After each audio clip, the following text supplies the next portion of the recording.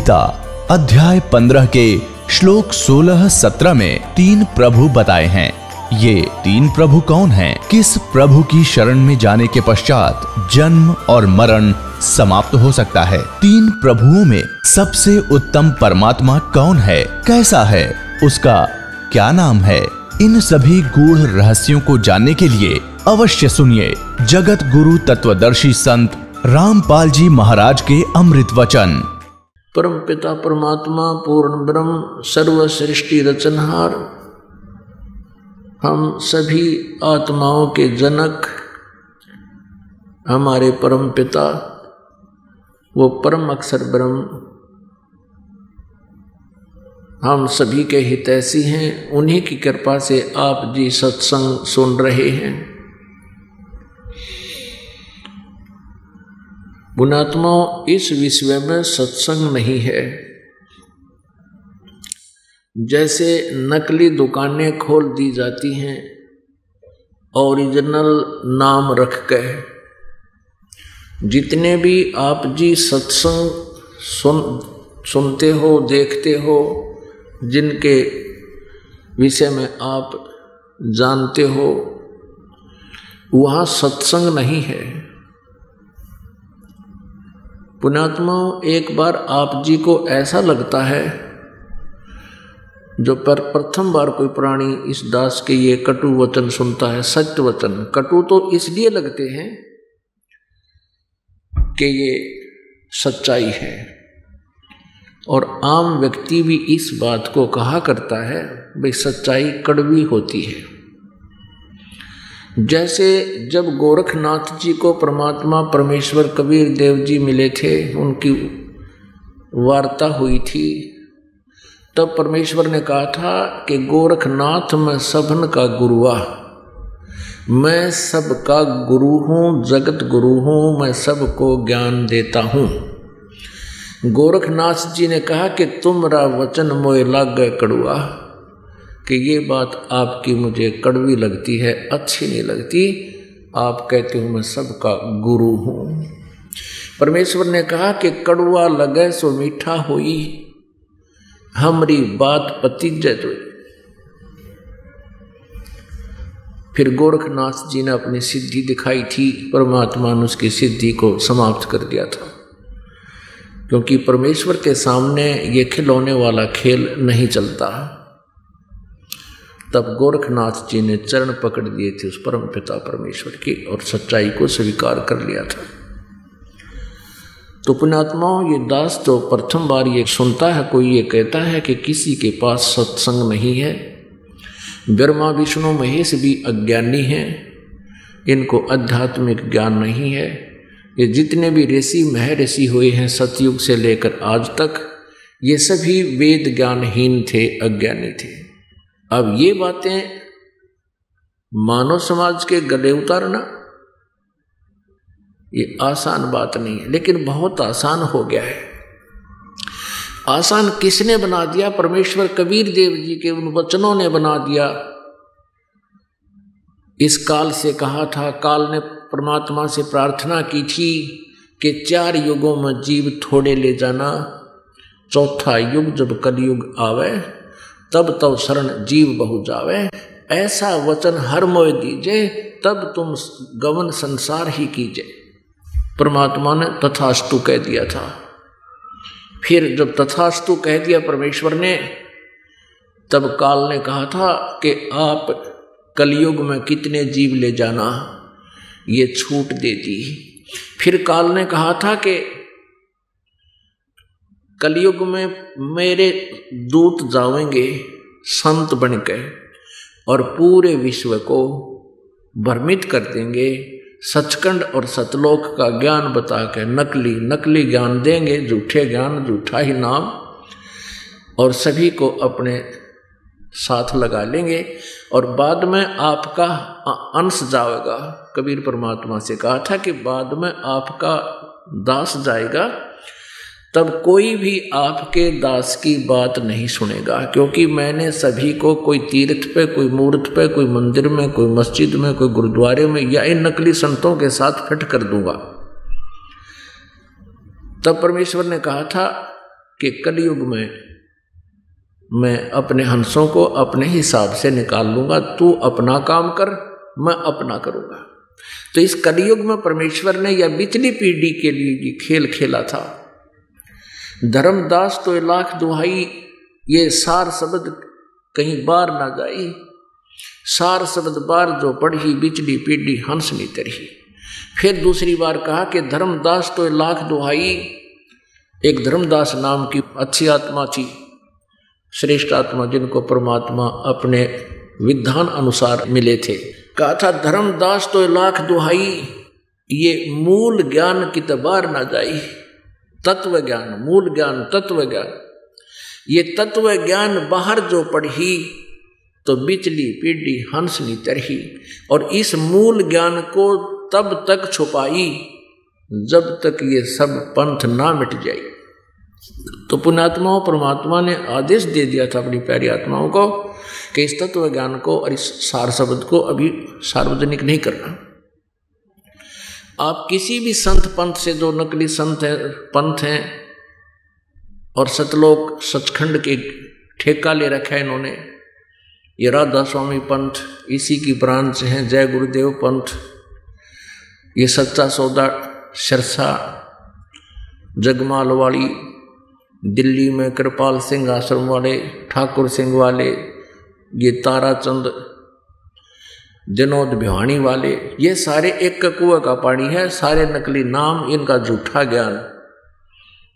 तो ये सभी बात तो बनाते हैं, सतलोक के ज्ञान को ना कख भी इनको, कैख भी याद नहीं। आध्यात्मिक ज्ञान का इनको कैख भी याद नहीं। तो परमेश्वर ने कहा था कि इस मूल ज्ञान को छुपा के रखना। अब किसी से पूछ ले कि परमात्मा कैसा है, कहेंगे, परमात्मा तो निराकार है। सचखंड में परमात्मा की क्या स्थिति है, वहाँ तो प्रकाश ही प्रकाश है, चेतन ही चेतन है। और आत्मा, परमात्मा में, सचखंड में ऐसे समा जाती है जैसे बूंद समुद्र में। और परमात्मा सचखंड में, सतलोक में निराकार है। अब ये कोई ज्ञान हुआ इनका?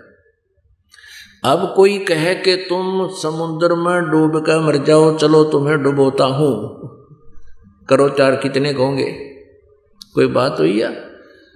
वहाँ भगवान है नहीं, परमात्मा निराकार है। हम भटक रहे भगवान के लिए, परमात्मा मिले उसके दर्शन करें। अपना दुख रोआ सीने से लगावे हमारे को, हमारे दुखों का हरण करे। और परमात्मा है ही नहीं तो हम के टिंडे लाएँगे उस सतलोक में। तो पुण्यात्माओं, हमें मूर्ख बना रखा था, नकली संतों ने, ये काल के दूत हैं। अब प्रसंग चला है कि कोई भी तत्व ज्ञान से परिचित नहीं। इवन ब्रह्मा जी, विष्णु जी, शिव जी, बताओ, अब यही परिचित नहीं है तो फिर बाकियों का तो बुद्धिमान को कहते हैं संकेत ही बहुत होता है।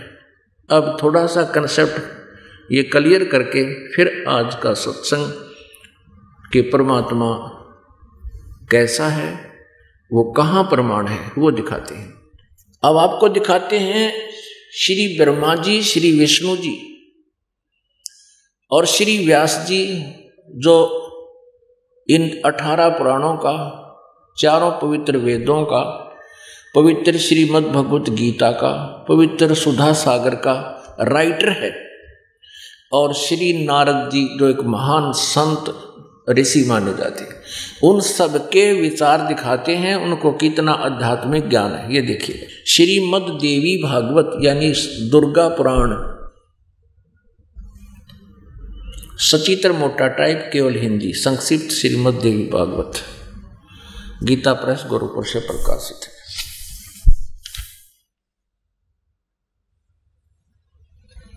संपादक अनुमान प्रसाद पौदार, चिमनलाल गोस्वामी। प्रकाशक एवं मुद्रक हैं, गीता प्रेस गोरखपुर गोविंद भवन कार्यालय, कोलकाता का संस्थान। इसके अट्ठाईस उनतीस पृष्ठ पर हम पढ़ते हैं। ये पहला सकंद, संक्षिप्त देवी भागवत, अट्ठाईस पृष्ठ। ये है नारद जी और व्यास जी का संवाद। नारद जी ने कहा, महाभाग व्यास जी तुम इस विषय में जो पूछ रहे हो, ठीक यही प्रश्न मेरे पिताजी ने भगवान श्री हरि से किया था। देवा अधिदेव भगवान जगत के स्वामी हैं। लक्ष्मी जी उनकी सेवा में उपस्थित रहती हैं। दीप कौष्टमणि उनकी शोभा बढ़ाती है। वे शंख, चक्र, गदा लिए रहते हैं। पीतंबर धारण करते हैं, चार भुजाएँ हैं। वे चराचर जगत के आश्रय दाता हैं। जगत गुरु, विष्णु जी को ये जगत गुरु कह रहे हैं। एम एम देवताओं के भी देवता हैं, यानी सब भगवानों के भगवान हैं। ये विचार दे रहा नारद जी और व्यास जी सुन रहे हैं। ऐसे जगत प्रभु श्री हरि महान तप कर रहे थे, उनकी समाधि लगी थी। यह देखकर मेरे पिता ब्रह्मा जी को बड़ा आश्चर्य हुआ।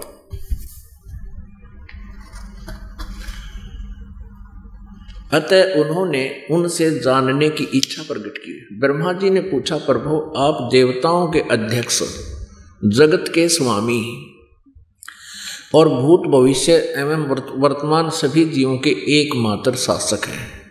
ब्रह्मा जी, आप विष्णु जी को सर्वेश्वर बता रहे हैं। भगवान, फिर आप क्यों तपस्या कर रहे हैं? और किस देवता की आराधना में ध्यान मगन है? मुझे असीम आश्चर्य तो यह हो रहा है कि आप देवेश्वर एवं सारे संसार के शासक होते हुए समाधि लगाए बैठे हैं। अब ब्रह्मा जी के विनीत वचन सुनकर भगवान श्री हरि, यानी विष्णु जी उनसे कहने लगे, ब्रह्मन, सावधान होकर सुनो।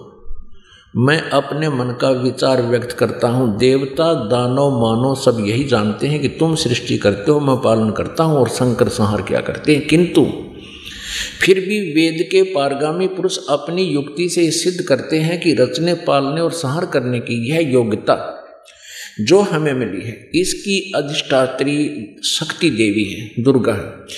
वे कहते हैं कि शंकर की सृष्टि, संसार की सृष्टि रचना, करने के लिए तुम्हें राजसी शक्ति का संचार हुआ, तुम में ब्रह्मा रजगुण है, ये भी सिद्ध हो रहा है।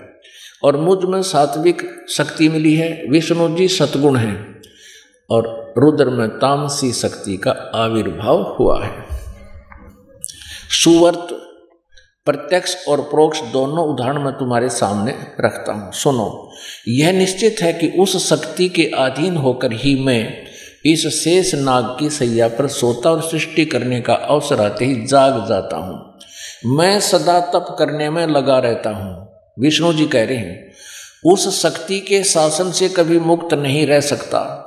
कभी अवसर मिला तो लक्ष्मी के साथ सुखपूर्वक समय बिताने का सौभाग्य प्राप्त होता है। मैं कभी तो दानों यानी राक्षसों के साथ युद्ध करता हूँ।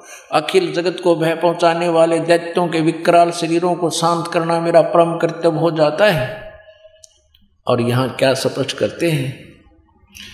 यहाँ कलम तोड़ दी अपने दातम ज्ञान की विष्णु जी ने। मुझे सब प्रकार से शक्ति के अधीन होकर रहना पड़ता है दुर्गा के। उन्हीं भगवती शक्ति का मैं निरंतर ध्यान किया करता हूँ दुर्गा का। ब्रह्मा जी, मेरी जानकारी में, यानी मेरे आध्यात्मिक ज्ञान में जितना मुझे ज्ञान है, उस जानकारी में इन भगवती शक्ति से, यानी दुर्गा से बढ़कर कोई देवता नहीं, दूसरा कोई भगवान नहीं। अपुणात्माओं ये अंत आ गया श्री विष्णु जी के स्पिरिचुअल नॉलेज का, आध्यात्मिक ज्ञान का। ये कहते हैं कि मैं दुर्गा से बढ़कर, दुर्गा से अतिरिक्त मैं किसी भगवान से परिचित नहीं, इनसे बड़ा कोई भगवान नहीं। और मैं इन्हीं की पूजा करता हूँ।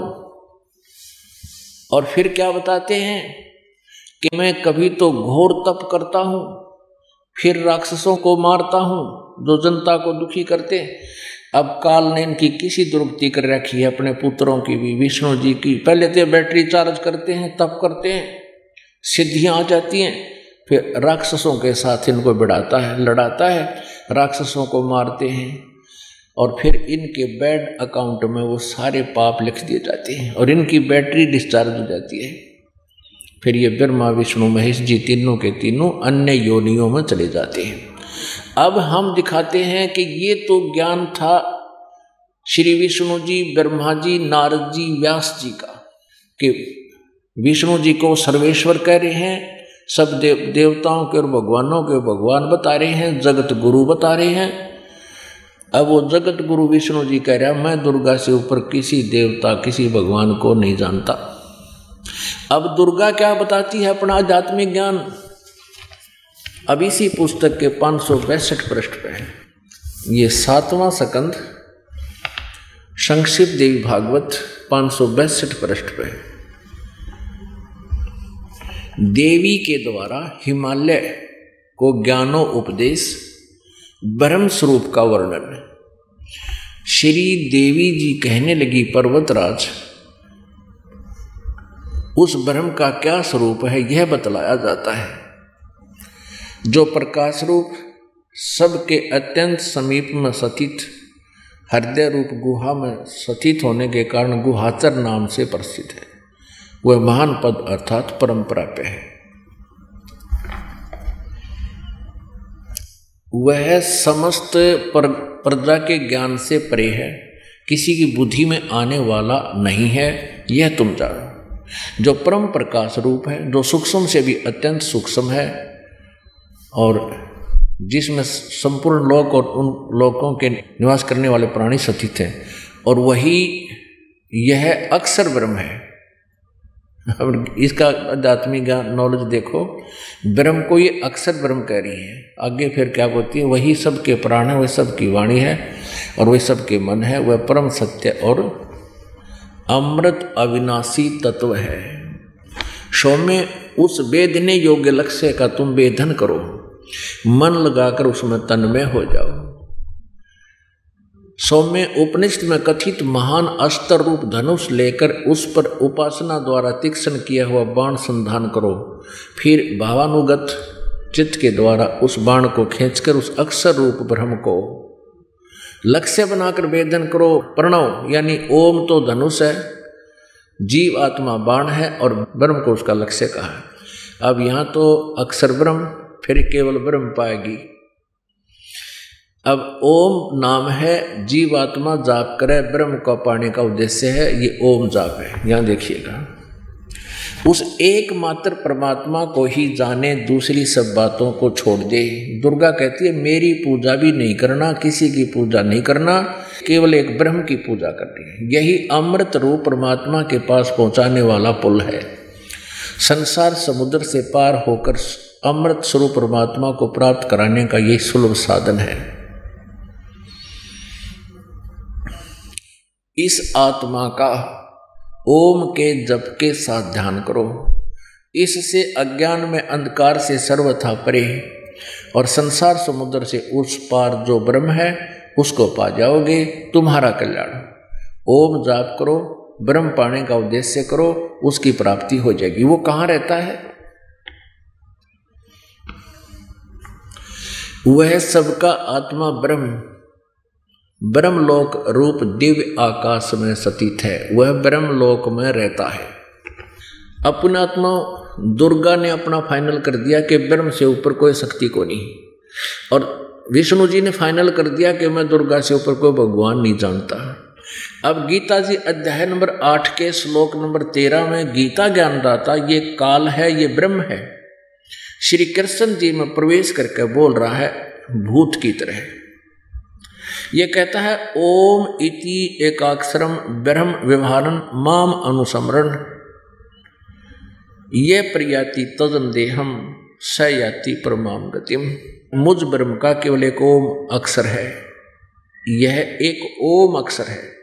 उच्चारण करके सिमरण करता हुआ यह प्रयाति तदन देहम, जो शरीर छोड़कर जाते हुए उसका उच्चारण करता हुआ श्री छोड़कर जाता है सयाति परमाम गतिम वो ओम से मिलने वाली जो उच्चतम गति है, श्रेष्ठ परम गति है, उसको प्राप्त होता है। अब ओम से कौन सी परम गति प्राप्त होती है? ब्रह्मलोक प्राप्त होता है। श्रीमद भगवत गीता जी अध्याय नंबर आठ के श्लोक नंबर सोलह में कहा कि ब्रह्मलोक पर्यंत ये सभी लोक पुनरावर्ती में है। अर्थात वहाँ गए हुए प्राणी भी फिर जन्म मृत्यु में आते हैं। गीता जी अध्याय नंबर चार के श्लोक नंबर पाँच और नौ में, अध्याय नंबर दो के श्लोक नंबर बारह में, अध्याय नंबर दस के श्लोक नंबर दो में गीता ज्ञानदाता कहता है अर्जुन, तेरे और मेरे बहुत जन्म हो चुके, तू नहीं जानता, मैं जानता हूँ। पहले भी जन्म हुए, आगे भी होंगे। इससे सिद्ध है कि ब्रह्म भी नासवान है। इसलिए इसने गीता जी अध्याय नंबर अठारह के श्लोक नंबर बैसठ में कहा कि अर्जुन, तू सर्वभाव से उस परमेश्वर की शरण में जा। उसकी कृपा से ही तू परम शांति को और सनातन परम धाम यानी सतलोक को प्राप्त होगा। गीता जी अध्याय नंबर पंद्रह के श्लोक नंबर एक से चार में स्पष्ट किया है कि ऊपर को जड़ वाला, नीचे को तीनों गुण रूपी शाखा वाला। ऊपर को जड़ तो पूर्ण परमेश्वर है, सतपुरुष परम अक्षर ब्रह्म है, और नीचे को तना अक्षर पुरुष है, डार फिर सर पुरुष है, और तीनों शाखा, रजगुण ब्रह्मा सतगुण विष्णु तम गुण, शिव जी, तीनों देवा शाखा और पात रूप संसार। इस उल्टे लटके हुए संसार रूपी वृक्ष को जो संत बता देगा, इसके सारे पार्ट्स ऑफ़ द ट्री वृक्ष के सभी भागों को बता देगा कि तना कौन प्रभु है, इसकी डार कौन प्रभु है। फॉर एग्ज़ाम्पल और शाखा कौन है, पत्ते कौन है, जड़ कौन प्रभु है, सवेदवित वो तत्वदर्शी संत है। तत्वदर्शी संत से पूछो उस परमात्म तत्व के बारे में गीता जी अध्याय नंबर चार के श्लोक नंबर चौंतीस में कहा कि उस ज्ञान को जो परमेश्वर ने स्वयं आकर के उस अपने द्वारा रची हुई सृष्टि और ज्ञान दिया हुआ है, चौथे जाएगा बत्तीसवें श्लोक में गीता जी में कहा है। वो सचिदानंद घन ब्रह्म की ब्रह्म मुखे सचिदानंद घन ब्रह्म की वाणी में विस्तार से कहा गया है। वो तत्व ज्ञान है। चौथे जाए के चौंतीसवें श्लोक में कहा कि उस तत्व ज्ञान को तू तत्वदर्शी संतों के पास जाकर समझ। उनको दंडवत प्रणाम करने से वो तत्वदर्शी संत तुझे उस परमात्म तत्व का ज्ञान बताएँगे। तो इसमें स्पष्ट क्या कि उसके पश्चात पंद्रहवें अध्याय के एक से लेकर चार में कहा कि जब तत्वदर्शी संत मिल जाए, उसके पश्चात उस इस उलझे हुए ज्ञान को असंख्य शस्त्र, यानी तत्व ज्ञान रूपी शस्त्र के द्वारा छितवा माने काट कर इसको समझ कर फिर गीता जी अध्याय नंबर पंद्रह के श्लोक नंबर चार में कहा है कि उसके पश्चात परमेश्वर के उस परम पद की खोज करनी चाहिए, जहाँ जाने के बाद साधक कभी लौटकर फिर संसार में नहीं आते, अर्थात उनकी फिर कभी जन्म मृत्यु नहीं होती। और जिस परमेश्वर ने सारे ब्रह्मांडों की रचना की है, उसी की पूजा करो। उसकी पूजा का विधान बताया है सत्र में अध्याय के तेईसवें श्लोक में संकेत किया है कि ओम तत्सत इति निर्देश है, ब्रह्मण त्रिविध समर्थ ब्रह्मण माने सचिदानंद घन ब्रह्म, उस परम अक्षर ब्रह्म की पूजा का। उसके पाने का ओम तत्सत इस केवल इस तीन मंत्र के जाप का निर्देश है, इसकी साधना भी तीन प्रकार से ही होती है। नथिंग एल्स निर्देश माने फाइनल फैसला। अग्रम मग्रम नहीं। अब ओम तो सीधा ब्रह्म का सरपुरुष का। गीता जी अध्याय नंबर पंद्रह के श्लोक नंबर सोलह और सत्रह में तीन प्रभु हैं, पुरुष हैं। एक सरपुरुष एक अक्षर पुरुष। इनसे न्यारा सत्र में श्लोक में कहा कि उत्तम पुरुष है तो अन्य परमात्मा इति उदारते वो परम अक्षर ब्रह्म है। यह लोक तरम अविश्य विवर्ती अवैश्वर है, जो संसार रूपी वृक्ष का जो जड़ रूप है, सब जो मूल है। गीता अध्याय नंबर आठ के श्लोक नंबर एक में अर्जुन ने पूछा, हे प्रभु, आपने सातवें अध्याय के उनतीसवें श्लोक में जिस तत्वर्म के बारे में कहा है कि उस तत्वर्म को जानकर जो जरा और मरण से छूटने का प्रयत्न करते हैं, जो बुढ़ापे और मृत्यु से सदा के लिए छुटकारा पाने का प्रयत्न कर रहे हैं वो तत्ब्रह्म से परिचित हैं, सारे अध्यात्म ज्ञान से परिचित हैं, और वो सब कर्मों से परिचित हैं। तब अर्जुन ने आठवें अध्याय के प्रथम मंत्र में पूछा, फिर किम तत्ब्रह्म आठवें अध्याय के तीसरे श्लोक में गीता ज्ञानदाता ने कहा, वो परम अक्षर ब्रह्म है। सरपुरुष सरब्रह्म कहो चाहे सरपुरुष कहो, अक्षर पुरुष कहो चाहे अक्षर ब्रह्म कहो, परम अक्षर पुरुष कहो चाहे परम अक्षर ब्रह्म कहो। वो परम अक्षर ब्रह्म है। तो गीता जी अध्याय नंबर पंद्रह के श्लोक नंबर सत्रह में उस परम अक्षर ब्रह्म की तरफ़ संकेत है। उत्तम पुरुष है तू, अन्य परमात्मा उदारत है। और यह लोक धर्म अविश्य विवर्ती अवय ईश्वर है। वो परम अक्षर ब्रह्म है, जो वास्तव में अविनाशी है, परमेश्वर है और सबका धारण पोषण करने वाला है। वो श्रेष्ठ प्रभु अब ये क्लियर हो गया कि ना ब्रह्मा जी को ज्ञान ना विष्णु जी को, ना शिव जी को, क्योंकि शिव जी को तो अंडरस्टूड है, उन्होंने ज्ञान ही ब्रह्मा जी से, विष्णु जी से प्राप्त हुआ। अब अन्ना दुर्गा को, अब ब्रह्म को भी कंप्लीट ज्ञान नहीं है, वो भी ऑप्शन छोड़ रहा है कि मुझे उस परमात्मा की वे ऑफ़ वर्शिप का ज्ञान नहीं, तत्वदर्शी संतों से पूछो। परमात्मा ने अपनी सच्चिदानंद घन ब्रह्म की वाणी में कहा कि तीन लोक और भवन चतुर्दश कोई नहीं सत्संगी। तीन लोक और भवन चतुर्दश में कोई भी सत्संगी नहीं है, सच्चे ज्ञान से परिचित नहीं है, तत्व ज्ञान से परिचित नहीं है। अब आपको दिखाते हैं, सतयुग के ब्राह्मणों की क्या स्थिति थी? अपने सदग्रंथ ही बताते हैं, दास नहीं बता रहा। क्योंकि जिन सदग्रंथों को हम सत्य मानते हैं आज उन्हीं सदग्रंथों को हम स्वयं पढ़ रहे हैं और ये अज्ञानी हमारे गुरु थे, नकली, ये इन सदग्रंथों के गुड़ रहस्य को नहीं समझ सके, इन्होंने हमारे को लोक वेद सुना रखे दंत कथा। सदग्रंथों की सच्चाई हमें नहीं बता पाई, क्योंकि उसका कारण बताया है परमेश्वर कबीर देव जी ने। गुरु बिन वेद पढ़े जो प्राणी समझे न सार रहे अज्ञानी। ही गुरु बिन काहु न पाया ज्ञान, जो थोथा भूस छड़े मूड किसाना। ये थोथा भूस छड़े थे। ये ऐसा प्रयत्न था इनका, सदग्रंथों को समझा नहीं और व्यर्थ प्रयत्न कर और करवा रहे थे। गुरु बिन काहु न पाया ज्ञान जो थोथा वो छड़े किस मूड किसाना, गुरु बिन वेद पढ़े जो प्राणी, समझे ना सार रहे अज्ञानी। आज तक ये वेदों को नहीं समझ सके। वेदों में कहीं भी दुर्गा की पूजा का प्रावधान नहीं है। केवल एक ब्रह्म की पूजा, ब्रह्म के बाद फिर ब्रह्म कहता है कि उस परम अक्षर ब्रह्म की पूजा करनी चाहिए जिसे पूर्ण मोक्ष होगा। अब देखिएगा, यही देवी भागवत, गीता प्रेस गोरखपुर से प्रकाशित है।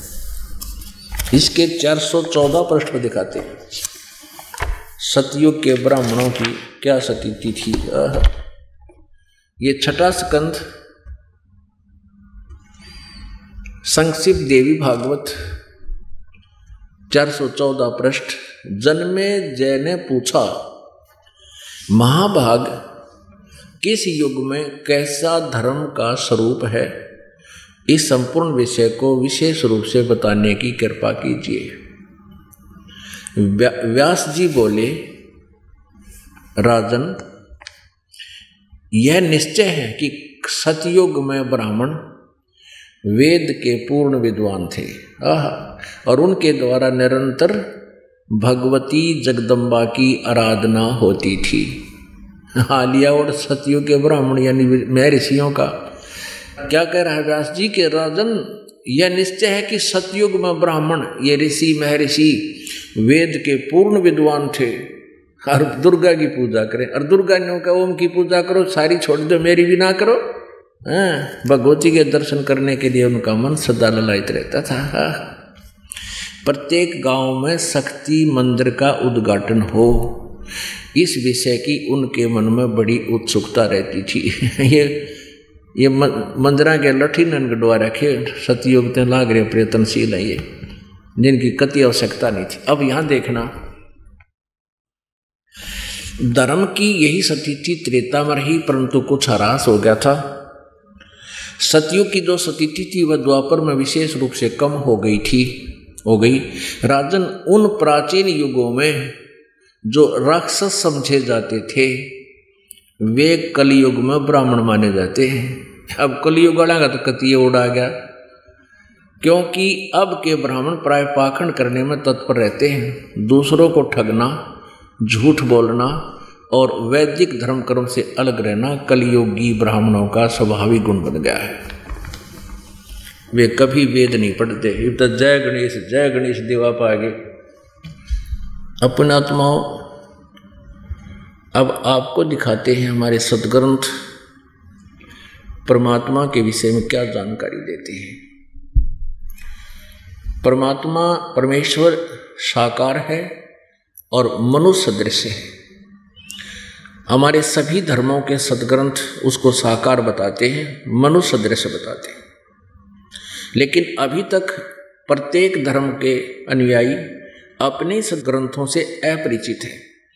अब सबसे पहले आपको दिखाते हैं पवित्र बाइबल में। पवित्र बाइबल में आप किसी से भी ईसाई धर्म के श्रद्धालु से पूछिएगा कि परमात्मा की क्या सचिथि है, वो साकार है या निराकार। वो तुरंत कहेगा कि गॉड इज़ फॉर्मलेस परमात्मा निराकार है। उसका कोई आकार नहीं। आप मुसलमान धर्म के अनुयायी से पूछिए, वो भी कहेंगे, परमात्मा बेचून है, बेचून माने निराकार है। हिंदू धर्म के अनुयायियों से पूछिए, वो भी कहेंगे, परमात्मा निराकार है। और सिख धर्म के अनुयायियों से पूछिए, वो भी कहेंगे, परमात्मा निराकार है। अकाल पुरुष निराकार है। और जबकि सभी सदग्रंथ परमात्मा को साकार मनुष्य सदृश बताते हैं, उसका नाम कबीर बताते हैं। और जिन्होंने परमेश्वर का साक्षात्कार हुआ, वो संत भी परमात्मा को साकार बताते हैं सशरीर बताते हैं और उनका नाम कबीर बताते हैं। अब पहले आपको पवित्र बाइबल दिखाते हैं। यह देखिएगा पवित्र बाइबल, संपूर्ण जीवन अध्ययन बाइबल। पवित्र बाइबल, संपूर्ण जीवन अध्ययन Bible journal editor Donald C Stamps M A M D V life publishers international spring file field, Missouri USA printed in India. यहाँ दिखाते हैं, ये हिंदी में पढ़ेंगे इसको। ये वही का वही है। प्रबंध संपादक डेविड सटुआर्ड, अंग्रेज़ी प्रधान संपादक Donald C Thomas M A M D V संयुक्त संपादक जे वेस्ले आदम्स पीएचडी संपादक समिति, ये इतने, कितने दुख? पी पीएचडी तो कम कोई नहीं। Full life study Bible life publishers international Springfield Missouri इतने यूएसए अब इसके बिल्कुल प्रारंभ में, उत्पत्ति ग्रंथ यानी जनरल जेनिसियस में देखते हैं। बिल्कुल प्रारंभ में। ये देखिएगा यहाँ से। उत्पत्ति आरंभ आरंभ होता है यहाँ से, पवित्र बाइबल का। अंग्रेज़ी में इसको कहते हैं जेनेसिस जेनेसिस। चार पृष्ठ पर आदि में परमेश्वर ने आकाश और पृथ्वी की सृष्टि की। पृथ्वी बेडौल और सुनसान पड़ी थी और गहरे जल के ऊपर अंधियारा था तथा परमेश्वर का आत्मा जल के ऊपर मंडराता था। जब परमेश्वर ने कहा, उजियाला हो तो उजियाला हो गया। और परमेश्वर ने उजियाले को देखा अच्छा है। और परमेश्वर ने उजियाले को अंधियारे से अलग किया और परमेश्वर ने उजियाले को दिन, अंधियारे को रात कहा। साँझ हुई, फिर भोर हुआ, इस प्रकार ये पहला दिन हो गया। दूसरे दिन साँझ हुई, फिर इसमें कुछ और रखा, तब तो परमेश्वर ने एक अंतर बनाकर उसके नीचे जल और उसके ऊपर जल को अलग किया और वैसा ही हो गया। और परमेश्वर ने इस अंतर को आकाश कहा और साँझ हुई, फिर भोर हुआ, इस प्रकार ये दूसरा दिन हो गया। फिर तीसरा दिन साँझ हुई, फिर भोर हुआ, ये तीसरा दिन हो गया। हम अपने काम की बात पर आते हैं। साँझ हुई, फिर भोर हुआ। ये चौथा दिन हो गया। यहाँ आइएगा हम छठवें दिन पर आते हैं। साँझ हुई, फिर भोर हुआ, या कुछ रचना की और इस प्रकार पांचवा दिन हो गया, छठवां दिन। यहाँ देखिएगा, इसके छब्बीस नंबर श्लोक में अध्याय नंबर एक के, फिर परमेश्वर ने कहा कि हम मनुष्य को अपने स्वरूप के अनुसार अपनी समानता में बनाए। फिर परमेश्वर ने कहा, हम मनुष्य को अपने स्वरूप के अनुसार अपनी समानता में बनाएँ। और वे समुद्र की मछलियों और आकाश के पक्षियों और घरेलू पशुओं और सारी पृथ्वी पर और सब रेंगने वाले जंतुओं पर जो पृथ्वी पर रेंगते हैं, अधिकार रखें। यानी उनसे चतुर शाना हो, समझदार हो, उनका कंट्रोलर बन सके। खाने के लिए नहीं कहा इसमें भगवान ने। तब परमेश्वर ने, सत्ताईस नंबर श्लोक में, तब परमेश्वर ने मनुष्य को अपने स्वरूप के अनुसार उत्पन्न किया। अपने ही स्वरूप के अनुसार परमेश्वर ने उसको उत्पन्न किया। नर और नारी करके उसने मनुष्य की सृष्टि की। पुण्यात्माओं, अब परमेश्वर कहा करते, मोए सुन सुन आवे, हँसी देखो। पानी में मीन पियासी, मोए हक सुन सुन आवे हँसी। देखो पानी में मीन पियासी। यानी सबके सदग्रंथों में खजाना भरा पड़ा है, ये जल में मीन पियासी, यानी वो प्यासे मर रहे हैं यथार्थ ज्ञान से परिचित नहीं है। अब बता, भगवान कैसा होगा? एक बालक ने पूछ ले छठी कक्षा के लिए इसने पढ़ के बता देगा। परमात्मा भगवान परमेश्वर ने कहा, मनुष्य को मैं अपने जैसे रूप का बनाऊँगा। और ऐसा ही कर दिया, नर नारी करके उसकी सृष्टि करती बता फिर भगवान, निराकार की तो हो गया? ओए होए। अब कबीर परमेश्वर कहा करते मेरे साथ दो भाई, मन सब जग भूला पाया, मेरे साथ दो भाई। मन सब जग भूला पाया। आगे देखो। परमेश्वर ने किसी को भी मांस खाने का आदेश नहीं दिया। हम ये पाँच पृष्ठ पर पढ़ रहे हैं। पाँच पृष्ठ और जेनेसिस यानी उत्पत्ति और सत्ताईसवा हमने पढ़ लिया। अरे अब देखो अट्ठाईसवा। अब कहते हैं, फिर परमेश्वर ने उनको आशीष दी और कहा, तुम फूलो फलो पर पर जाओ, ठीक है। फिर परमेश्वर ने कहा कि, सुनो, मनुष्य के खाने के लिए क्या आदेश है परमेश्वर का? फिर परमेश्वर ने कहा, सुनो, जितने बीज वाले छोटे छोटे पेड़ सारी पृथ्वी के ऊपर हैं और जितने वृक्षों में बीज वाले फल होते हैं, वे सब मैंने तुमको दिए हैं, वे तुम्हारे भोजन के लिए हैं। मांस खाने का आदेश परमात्मा का किसी को नहीं है। ये फाइनल फैसला है उस पूर्ण परमात्मा का, जिसने सृष्टि रची। अब हम यहाँ लेते ये छठा दिन हो गया साँझ हुई फिर भोर हुआ, इस प्रकार ये छठवां दिन हो गया। अब सातवें दिन में क्या क्या, और परमेश्वर ने अपना काम जिसे वह करता था, सातवें दिन समाप्त किया, और उसने अपने किए हुए सारे काम से सातवें दिन विश्राम किया। अपने आत्माओं, ये स्पष्ट हो गया। कि परमात्मा ने छह दिन में सृष्टि रची, सातवें दिन तख्त पर जा बैठे। यानी विश्राम किया। अब पवित्र कुरान शरीफ के अंदर सूरत फुरकानी पच्चीस, आयत नंबर बावन से उनसठ तक ये स्पष्ट कर रखा है कि वह कबीर नाम का परमेश्वर है और जिसको मुसलमान धर्म के अनुयायी, जिसको अपना अल्लाह मानते हैं कि उस अल्लाह ने कुरान शरीफ का ज्ञान दिया, ज्ञान बताया। वो कुरान शरीफ का ज्ञान दाता अल्लाह कह रहा है हज़रत मोहम्मद जी को कि मैं तुझे जो ज्ञान दे रहा हूँ, इसको काफिर नहीं मानते कि कबीर इज़ गॉड, कबीर अल्लाह है तो उनकी बातों में मत आना। मेरे द्वारा इस कुरान की शरीफों की हिदायतों पर तो विश्वास रखना। और वो परमात्मा वही है जिसने छह दिन में सृष्टि रची, सातवें दिन तख्त पर जा बैठे।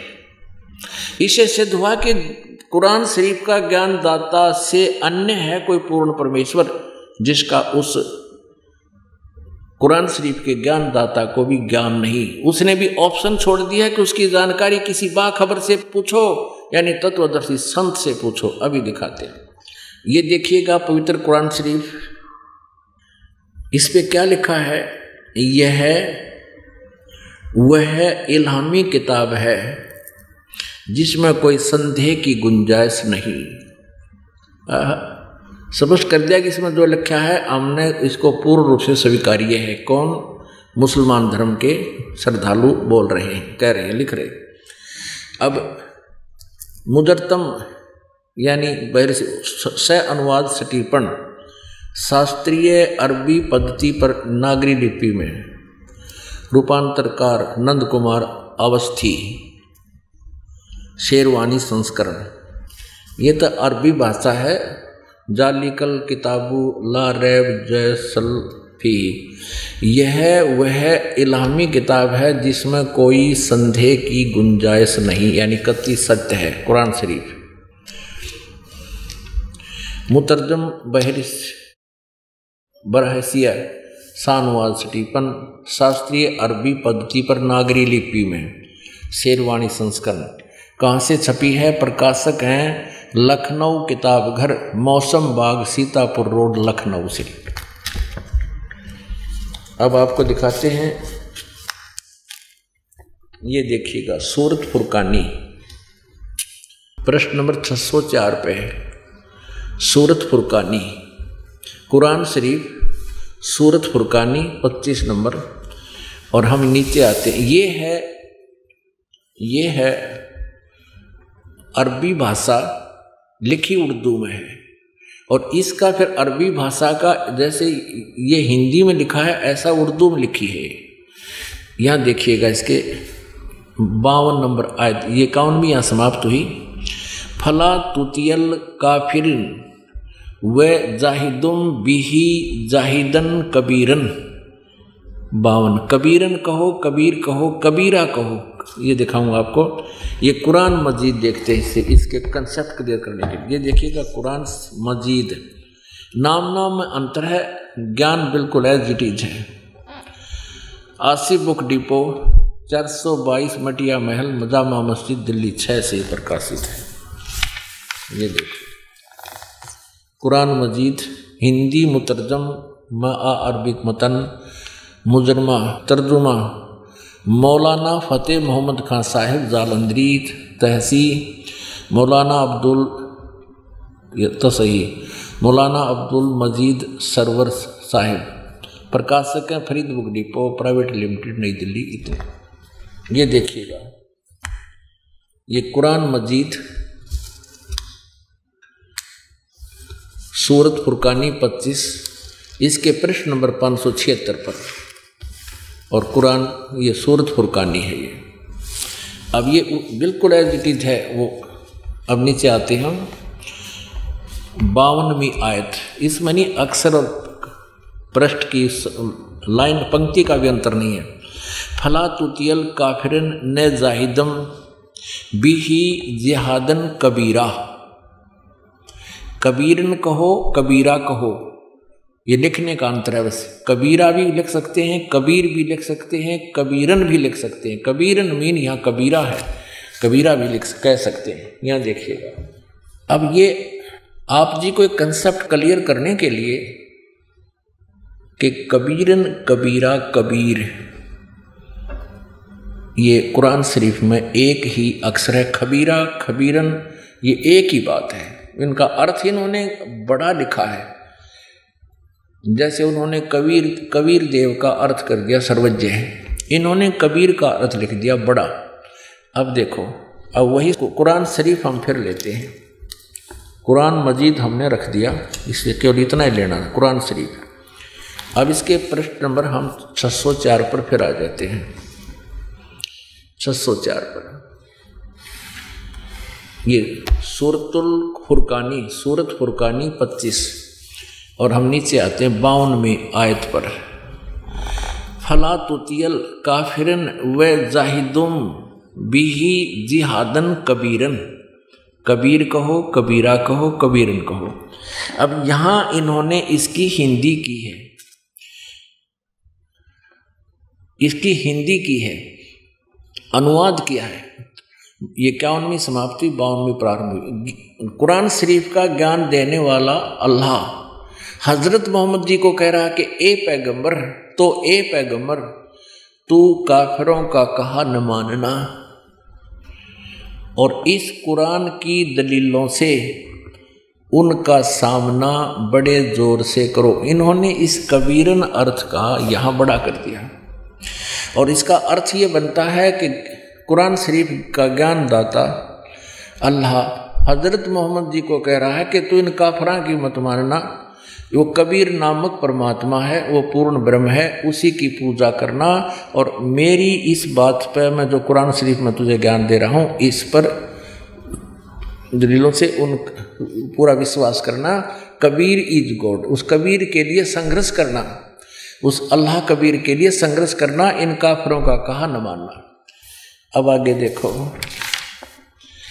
प्रश्न नंबर 607 पर फिर आगे, आयत नंबर तिरपन बावन तो हमने पढ़ ली, तिरपन की हिंदी पढ़ते हैं।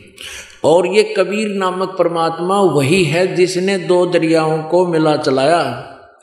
एक का पानी मीठा, प्यास बुझाने वाला और एक खारी कड़वा। और दोनों में एक आड़ और मज़बूत रोक बना दी। और वही है जिसने पानी की बूंद से आदमी को पैदा किया, फिर उसको साहिब नसब यानी किसी को बेटा या बेटी और ससुराल वाला यानी किसी का दामाद बहू बनाया। और तुम्हारा परवरदिगार हर चीज़ करने पर शक्तिमान है। अब कुरान शरीफ का ज्ञान देने वाला अल्लाह, जो मुसलमान अपना अल्लाह मानते हैं, वो हज़रत मोहम्मद को कह रहा है कि तुम्हारा परवरदिगार, वो पूर्ण परमात्मा समर्थ है, सतगुरु जो चावे सो कर ही। सब चीज़ करने में समर्थ है, शक्तिमान है। और बचपन में क्या कहा है? काफिर अल्लाह के सिवा। ऐसों को पूजते हैं जो न उनको नफा पहुँचा सकते हैं और न उनको नुकसान पहुँचा सकते हैं। यानी अन्य देवी देवताओं की पूजा करते हैं काफिर। और काफिर तो अपने परवरदिगार से पीठ दिए हुए हैं, मुँह मोड़े हुए हैं। अब छप्पन में, आयत नंबर छप्पन, सूरत फुरकानी की, पच्चीस की। और ए पैगंबर, हज़रत मोहम्मद, हमने तुमको खुशखबरी सुनाने और सिर्फ़ अजाब से डराने के लिए भेजा है। अब सतावन में, इन लोगों से कहो कि मैं तुमसे इस अल्लाह के हुक्म पर कुछ मजदूरी नहीं माँगता। हाँ जो चाहे अपने परवदिगार तक पहुँचने की राह इख्तार कर ले। अब अठावन में ए पैगंबर, उस ज़िंदा पर भरोसा रखो, ज़िंदा महात्मा के रूप में परमेश्वर हज़रत मोहम्मद जी को मिले थे। और परमात्मा कहते, हम मोहम्मद को वहाँ ले गयो, इच्छा रूपी वहाँ नहीं रहो। उल्ट मोहम्मद मैल पठाया, गुज बीर जे कलमा लाया, रोजा बंग नमाज़ दई रे, बिस्मल की नई बात कही रे। अब ज़िंदा महात्मा के रूप में परमात्मा आकर मिलते हैं, जैसे अच्छी आत्माओं को मिलते हैं, वेद गवाही देते हैं, उसी प्रकार। और ए पैगंबर उस ज़िंदा यानी ज़िंदा रूप में, ज़िंदा महात्मा के रूप में तुझे मिले थे, उस पर भरोसा रखो। वो कभी मरने वाला नहीं है, वो अविनाशी परमात्मा है। और तारीफ़ के साथ उसकी पाकी बयान करते रहो। और अपने बंदों के गुनाहों से वह कबीर खबरदार है। यहाँ देखो, अठावन, यहाँ देखो, अठावन। वो कबीरा कहो कबीरा कहो, कबीरन कहो, इन्होंने बड़ा अर्थ कर दिया इसका। या लिखा है इवादही कबीरन, इवादही खबीरा, इवादही माने इवादत इवादत माने पूजा, इवादही माने पूजा के योग कबीर है, वो कबीरन है, कबीर कहो, खबीरा कहो, इवादही कबीरा, इवादही खबीरा, वो पूजा के योग, वो पूजा के योग कबीर परमात्मा है। इस अठावन का इन्होंने यहाँ कर दिया। और ये पैगंबर उस ज़िंदा, यानी ज़िंदा महात्मा मिला, उसको उस पर भरोसा रखो, जो कभी मरने वाला नहीं है। और तारीफ़ के साथ उसकी पाकी बयान करते रहो। यानी कुरान शरीफ का ज्ञान देने वाले से कोई और है पूर्ण परमात्मा? ये स्पष्ट हो रहा है। और अपने बंदों के गुनाहों को, यानी पापों का नाश करने वाला है, और वो कबीर, यहाँ इन्होंने काफ़ी लिख दिया। कबीर का काफ़ी माने बहुत, यानी अच्छा अधिक बड़ा, वो खूब खबर, वो कबीर खबरदार है, वो खूब जानता है तुम्हारे पापों का, वो नाश कर देगा। अब उनसठ में कमाल कर दिया। आह, अब जिसने आसमानों और ज़मीन में और जो कुछ उनके बीच में है, सबको छह दिन में पैदा किया और फिर तकत पर जा विराजा। है वही पवित्र बाइबल वाला प्रकरण है। वह अल्लाह बड़ा इन्होंने फिर खबीरा का बड़ा लिख दिया। वो अल्लाह कबीर लिखना था। ये देखो उनसठ पे आए है। अरहमानो फ़सल बिही खबीरन। इसका भी अर्थ इन्होंने बड़ा कर दिया। ये लिखण में गलती रहेगी। ये कबीरन है, कबीर है। वो अल्लाह कबीर है। ये देखिए। फिर पढ़िए उनसठ नंबर आयत। जिसने आसमानों और ज़मीन और जो कुछ उनके बीच में है, सबको छह दिन में पैदा किया। और फिर तकत पर जा विराजा। ओए वह अल्लाह कबीर या कबीर लिख जाना चाहिए, वह अल्लाह कबीर है, रहमान है, दयालु है। और उसकी खबर, किसी बाखबर से बाखबर माने तत्वदर्शी संत से, इलम वाले से पूछ देखो। अपन आत्माओं, इन दोनों धर्मों के पवित्र सदग्रंथों ने रल मिलकर ये स्पष्ट कर दिया कि परमात्मा मनुष्य सदृश है, वो सह शरीर है, उसका नाम कबीर है। अब आपको दिखाते हैं। अब ये तो पवित्र ईसाई धर्म और मुसलमान धर्म के पवित्र सदग्रंथों से स्पष्ट हुआ कि परमात्मा साकार है। मनुष्य सदृश है, उसका नाम कबीर है। अब आपको बताते हैं, दिखाते हैं, सुनाते हैं पवित्र गुरु ग्रंथ साहिब के अंदर परमात्मा की सतिथि क्या है? अब श्री गुरु ग्रंथ साहिब, पन्ना नंबर बारह सौ पर बहुत ही सीधे अक्षरों में लिखा है, स्पष्ट कि वो परमात्मा मनुष्य दृश्य है, साकार है। ये देखिएगा, पढ़ के सुनाते हैं आपको। अब गुरु ग्रंथ साहिब, महला पहला महला पहला जो है, गुरु नानक देव जी के मुखारविंद से उच्चारित अमृतवाणी है। इसके प्रश्न नंबर बारह सत्तावन पर लिखा है बागे कापड़ बोला बैण, लम्मा नक काले तेरे नैण। अब कहते हैं, सफ़ेद कपड़े और बोला बैन यानी आवाज़ लगा रहा है। लम्मा नक काले तेरे नैन यानी लंबा नाक और काले आँख, नैन माने आँखें। और कबहू साहेब देखा बहन? उड़ उड़ चढ़िया आसमान, साहेब समर्थ तेरे ताण। जल थल डूंगर देखा तीर, थान थनंतर साहेब वीर अब यहाँ वैसे एक साहेब कबीर शब्द है। यहाँ मिसप्रिंट है। फिर क्यों? आगे फिर कहा कि जिन तन साज दिए नाल खम्ब अति तृष्णा उड़े की ढंज, नदर करे ता बांधा धीर जिमें विखाले तिम वेखा वीर अब एक शब्द में, एक यानी इसमें, क्या नाम शब्द में, अर्थात एक भजन में, एक शब्दा, यानी कविता में दो बार वीर नहीं आ सकता। क्योंकि ये महापुरुष की वाणी है, किसी बालक की नहीं है। अब इसमें दो बार अंत में वीर आया है। इसमें एक स्थान पर थान थनंतर साहेब वीर, ये साहेब कबीर होना है। मिसप्रिंट हो गया है। फिर आगे लिखा, जिमें विखाले त्यों देखा वीर, ये फिर वीर आ गया है। न ई तनु जाएगा न जाहेंगे खम्ब पौन पाणी अग्नि का संबंध, नानक कर्म होवे जपिए कर गुरु, पीर सच समावे हुए शरीर।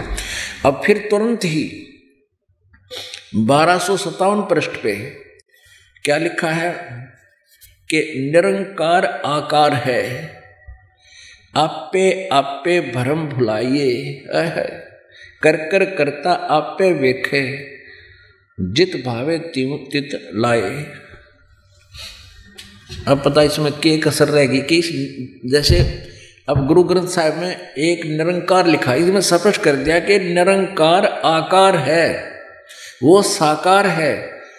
और यहाँ साफ़ कर दिया कि बाग्य कापड़ बोल बैण लम्मा नक काले तेरे नैन बता फिर भगवान निराकार क्यों कर रहेगा नाक, कान बाड़ा तो ही बता दिए। और भी इसमें बहुत से प्रमाण हैं। फिर इसमें लिखा है 721 पृष्ठ पे 721 पृष्ठ पे गुरु ग्रंथ साहिब में एक अर्ध गुप्तम पेश तोदर गोस कून करतार हक्का कबीर हक्का कबीर करीम तू ए बेऐब परवरदिगार है। एक अर्ज़ गुप्तम पेश तोदर गोस कून करतार कून करतार माने हे सबद स्वरूपी राम, गोस माने एक संत रूप में प्रगट, मेरी एक गुप्त अर्ज़ आपसे है। हे हक्का कबीर, हे हक्का कबीर माने हे सत कबीर, हे अविनाशी कबीर, करीम तू, करीम माने दयालु और बेऐब परवरदिगार, निर्विकार परमात्मा बद बखत, ये लास्ट में सुनाते हैं, पूरा नहीं सुनाऊँगा। बद बखत हमचू बखील गाफिल बेनजर, बेबाक। हमारा ज्ञान तो आपके सामने ऐसा था, जैसे हम बेबाक बोल रहे हो, जो मुँह मायू ऐसे बोलते थे, हमें ज्ञान नहीं था। नानक बुगोयत जंतुरा बुगोयत माने नानक जी कहते हैं, नानक कहे आपका जन्म और तेरे चाकरा पाखाक। मैं तो आपके भक्त जो आपके ज्ञान से परिचित हैं, उनके चरणों की धूल हूँ, पैरों की खाक हूँ। आगे दिखाते हैं। प्रश्न नंबर 24 पर, गुरु ग्रंथ साहिब के प्रश्न नंबर 24 पर, राग श्री, ये धानक रूप रहा करतार। ये देखिएगा, धानक रूप रहा करतार। एक सुवान, दुई सुवानी, नाल भलके भौकाई, सदा बियाल, कूड़ छुरा, मुठा, मुर्दार, ये धानक रूप रहा करतार। ये धानक रूप रहा करतार। मैं पथ की बिंद न करने की कार वो बिगड़ रूप रहा विकराल तेरा एक नाम तारे संसार मैं एहा आस एहो आधार ए भगवान, हे कबीर परमात्मा, हे धानक रूप परमात्मा, जुलाहे रूप में प्रगट परमेश्वर। जो बनारस में देखा, नानक साहब ने, कहते हैं, तेरा एक नाम तारे संसार, मैं एहो आस एह आधार। मुख निंदा आखा दिन रात। पर घर जो ही नीच मनाथ, काम क्रोध तन वसन चंडाल ये धानक रूप रहा करतार। ये फाई सूरत मुलुक की वेश, अह, ये फाई सूरत मुलुक की वेश, अहु ठगवाड़ा ठगी देश, खरा सियाणा भोता भार, ये धारणक रूप रहा करतार। अब ये सारी वाणी एक पुस्तक में लिखी है अलग से, ये आपको पढ़कर सुना रहा हूँ। मैं कीता न जाता हराम खोर ओ किया मुँह देसा दुष्ट चोर, नानक नीच कह विचार, ये धानक रूप रहा करता है। अपनात्मा आप जी ने तीन पवित्र धर्मों के पवित्र सदग्रंथों से ये प्रमाणित हो गया, कि परमात्मा साकार है, मनुष्य दृश्य है सह शरीर है, उसका नाम कबीर है। अब आपको दिखाते हैं वेदों में परमात्मा मनुष्यवत है परमेश्वर मनुष्यवत, नरवत, मनुष्य की तरह मनुष्य जैसा। और अभी दिखाते हैं। आपको थोड़ा सा दिखाएँगे वेदों में। समझदार को संकेत बहुत होता है। देखिएगा यजुर्वेद अध्याय नंबर पाँच के और मंत्र नंबर एक में। यजुर्वेद अध्याय नंबर पाँच के। अब इनसे हमने केवल संस्कृत देखनी है। प्रकाशक है सार्वदेशी आर्य प्रतिनिधि सभा, दो बटा पाँच, महर्षि दान भवन, रामलीला मैदान, नई दिल्ली से छपा है। महर्षि दान सरस्वती करत इसने इसका अनुवाद किया है। मुद्रक है, Prince offset printers 1510 Pataudi house Daryaganj, New Delhi से। अब यहाँ देखना, पाँचवें अध्याय का। अब देखना, इन्होंने स्वयं ही ये चतुर्थ अध्याय में, और ये अट्ठाईसवा मंत्र है, इसमें अग्नि माने जगदीश्वर या परमेश्वर किया है। और भी बहुत स्थानों पर, बहुत स्थानों पर अग्नि माने परमेश्वर अर्थ किया है।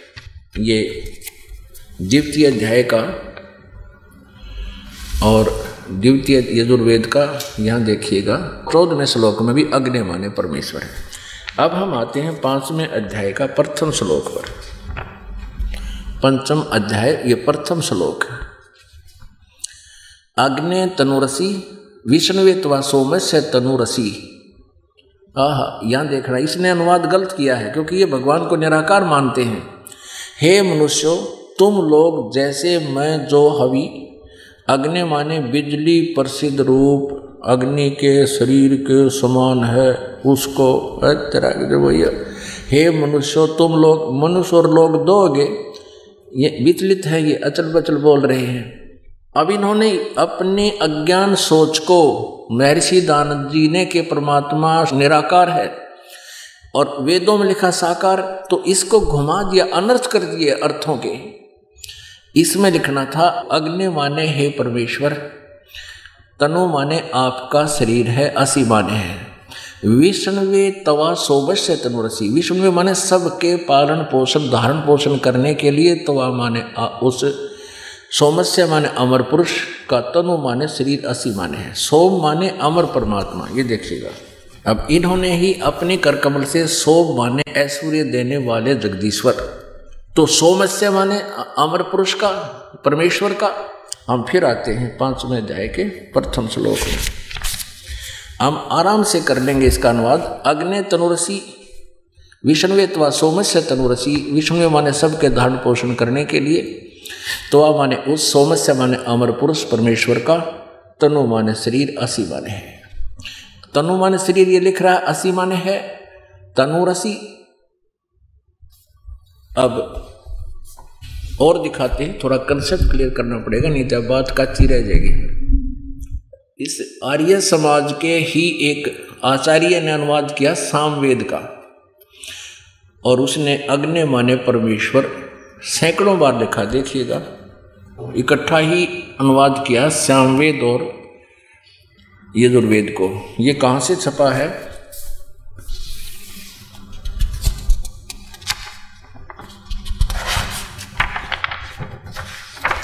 ये देखिएगा यहाँ पर। प्रधान कार्यालय, दान संस्थान, वेद मंदिर, महात्मा वेद भिक्षु, सेवा आश्रम मुखमेलपुर दिल्ली, दूरवास इतना है। दान संस्थान, नई दिल्ली। प्रकाशक हैं पंडिता राकेश रानी, अध्यक्ष दान संस्थान बाईस सौ छियासी आर्य समाज मार्ग करोल बाग नई दिल्ली से दूरवास और इसके वेद भिक्षु जी ने इसका अनुवाद किया है देखिएगा, श्याम वेद जहाँ से स्टार्ट होता है, ये देखिएगा, श्याम वेद भाषा भाष्यम प्रथमो अध्याय, श्याम वेद भाषा भाष्यम और प्रथम मंत्र में, अग्नि माने, हे ईश्वर।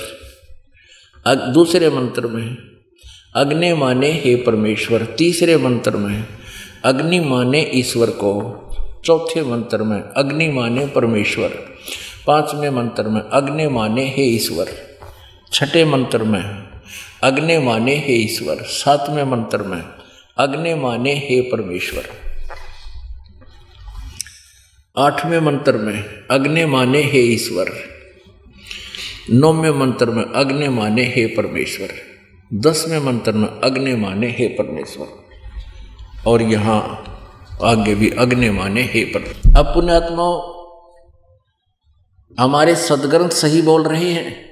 ये अनाड़ी अज्ञानी इसे नकली महर्षि, क्योंकि सतयुग के ब्राह्मण ज्ञान नहीं था कलयुग के ब्राह्मण दयानंद ने कितने ज्ञान होता भाई, गुरु बिन वेद पढ़े जो प्राणी, समझे न सारे रहे, अज्ञानी ही, ये सारे अज्ञानी थे।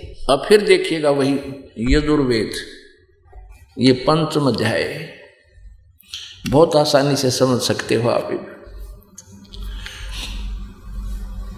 प्रथम मंत्र, अग्नि तनुरसी, अग्नि हे परमेश्वर अग्नि माने हे परमेश्वर आपका, तनु माने शरीर, असी माने है। और विष्णुवे तवा सोमस्य तनुरसी विष्णुवे माने सबके धारण पोषण करने का। इसमें पवित्र यजुर्वेद में पाँचवें अध्याय के प्रथम मंत्र में इकट्ठा ही दो बार कहा है। क्योंकि दो बार क्यों कहा है? क्योंकि एक रूप में तो परमात्मा सतलोक में वहाँ सचिर है, वहीं रहते हैं। और दूसरा अन्य रूप धारण करके यहाँ तेज पुंज का हल्का शरीर बनाकर हमारे हमारे को तृप्त करने के लिए, ज्ञान देने के लिए अतिथि रूप में आते हैं, अतिथि। अतिथि माने जिसके आने की तिथि पूर्व निर्धारित ना हो, अचानक आ जावे।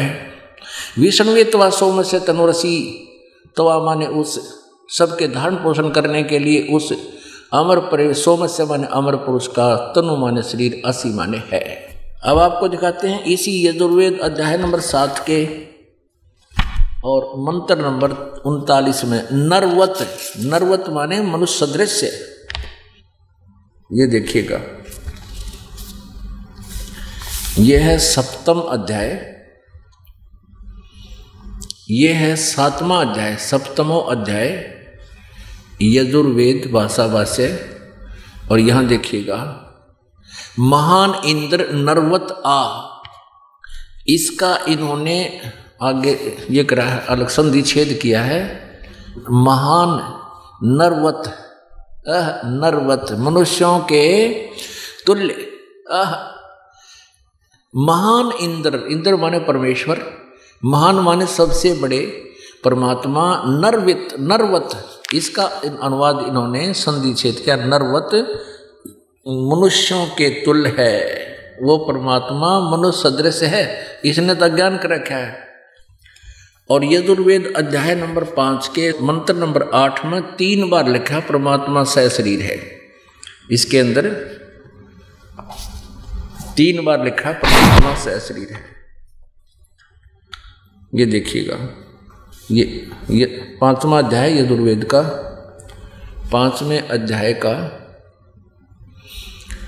और ये आठवां श्लोक है। इसमें तीन बार लिखा है, मनुष्य लोगों, तुमको जो इस अग्निमा ने बिजली कर दिया, परमेश्वर का सोनादि सोने से अत्यंत बड़ा, यानी बहुत सुंदर। अभ्यंतर रहने वाला तनु माने शरीर तनु माने शरीर है, उस परमात्मा का।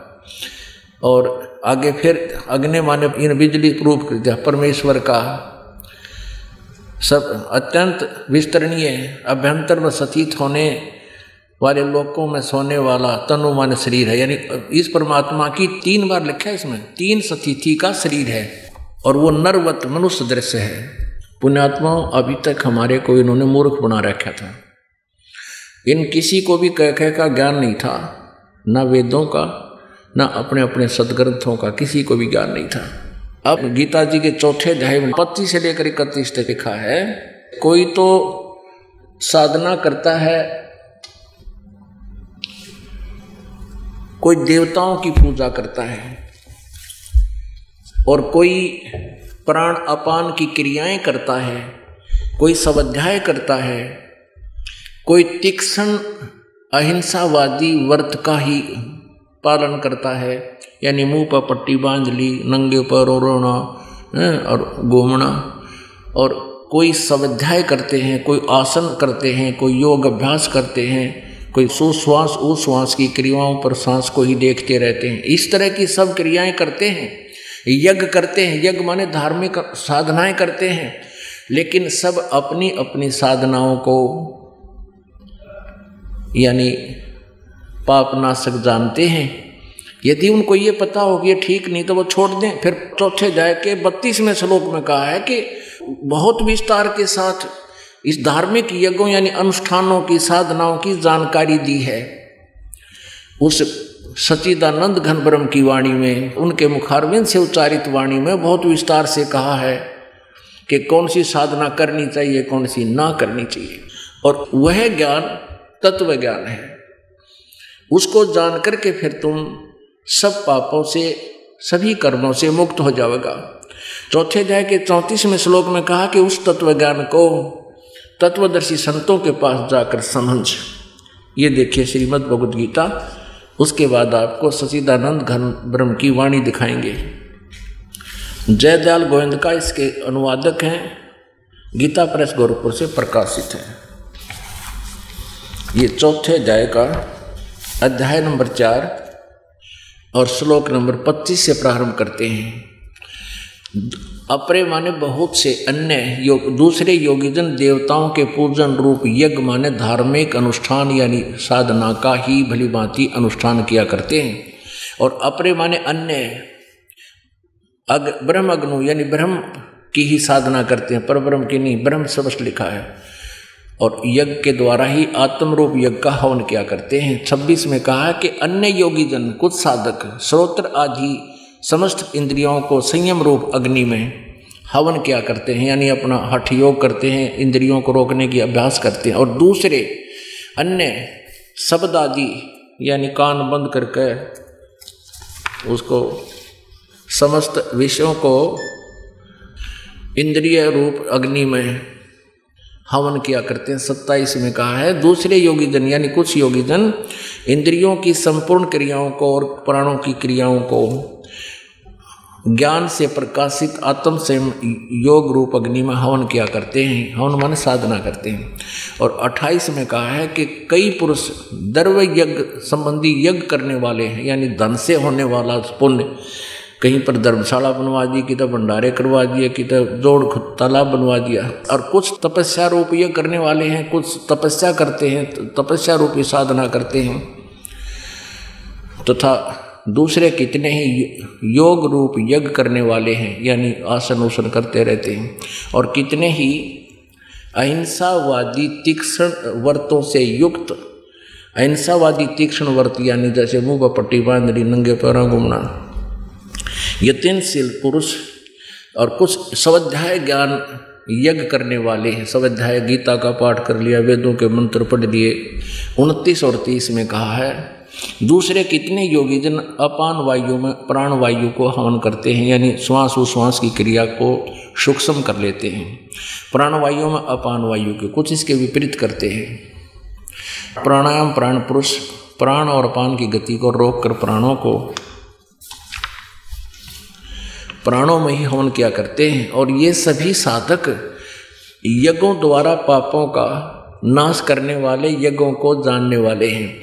इनका कहने का भाव ये है कि ये सभी अपनी अपनी साधनाओं को पाप नाशक जानते हैं।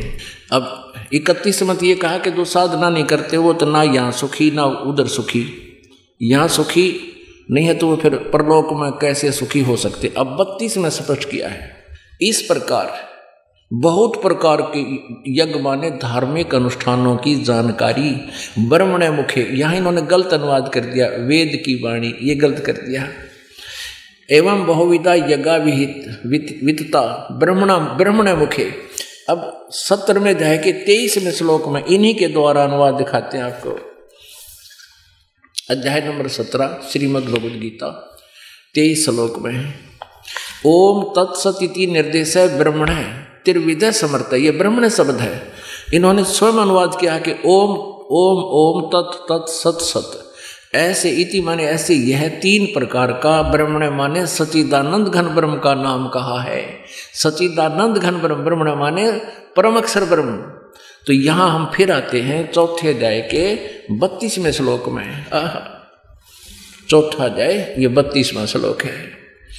इस प्रकार और भी, इस प्रकार, यानी अभी पहले सुने ना पच्चीस से इकतीस तक है।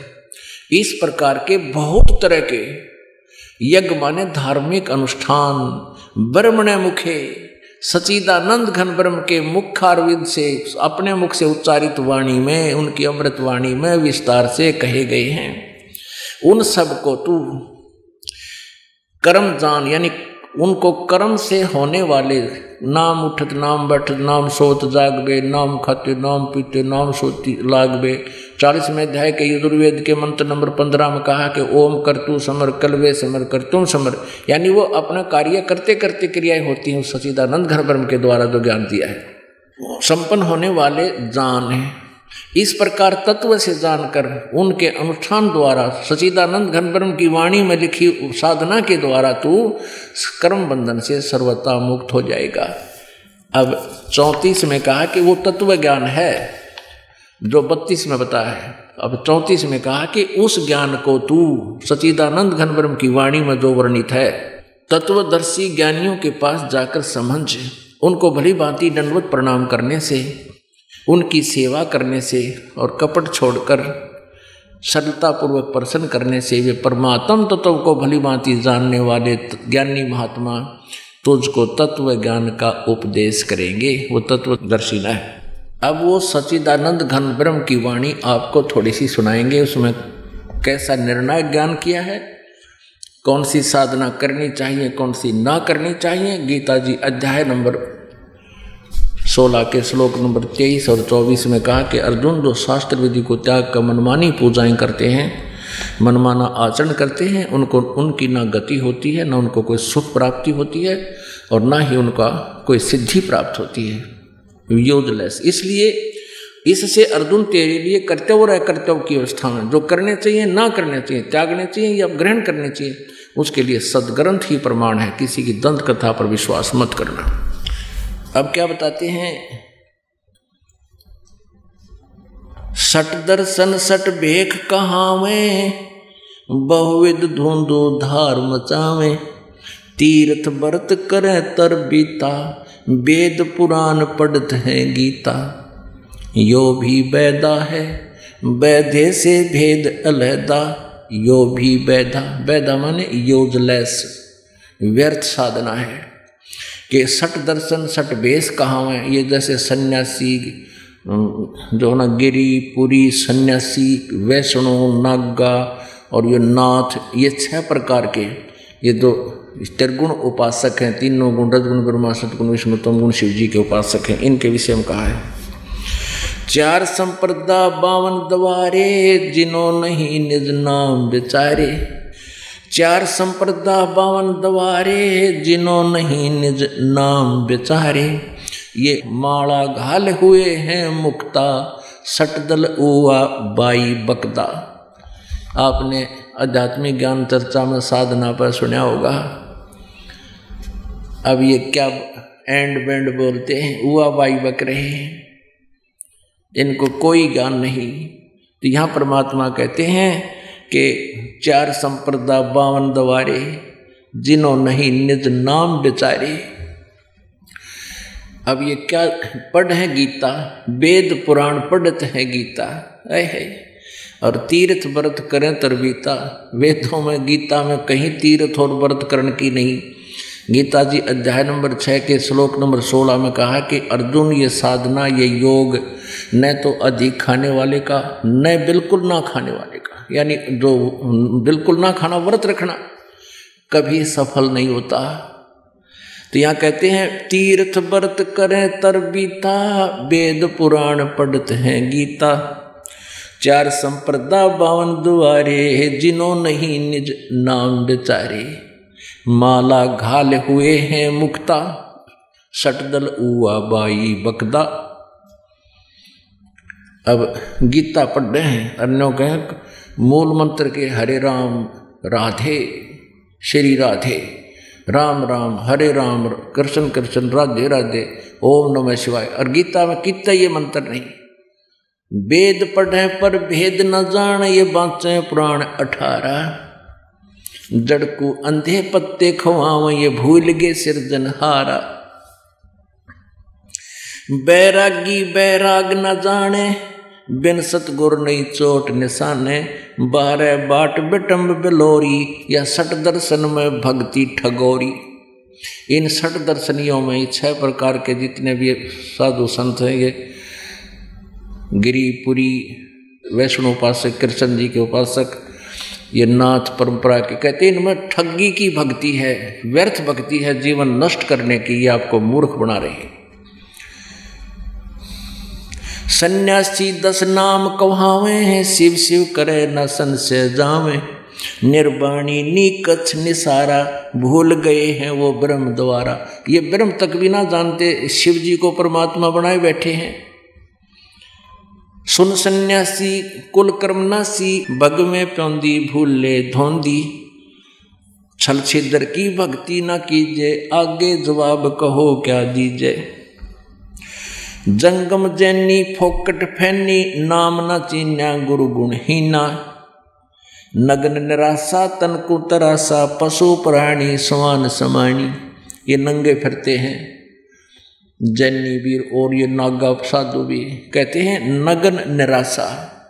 ये निराश जाएँगे, इनको कुछ भी हाथ नहीं लगेगा। और तनकू तरासा अब इसी बुंडी, सर्दी में और गर्मी में नंगे आने। अब पशु बन का अपन अंडा करोगे नहीं वस्त्र। आप धक्के खाओगे। अब परमात्मा ने कितना सुंदर शरीर दिया, बुद्धि दी। इसमें अपना सभ्य तरीके से रहो और भक्ति करो सत साधना करो। कहते, नगन निराशा, तन कुतरासा पशु प्राणी समान समाणी पशु प्राणी समान के कुत्ते की तरह नंगे फिरते हैं।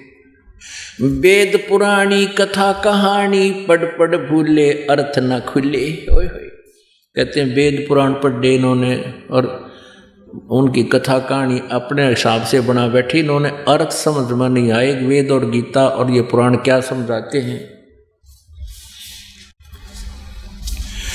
बैरागी सन्यासी सेवड़े तन पर छार लगावे हैं। ये पाँचों नार पच्चीसों लड़के धुंधु धार मचावे हैं। अब क्या बताते हैं कि घर छोड़ दिया, बैरागी बन गया।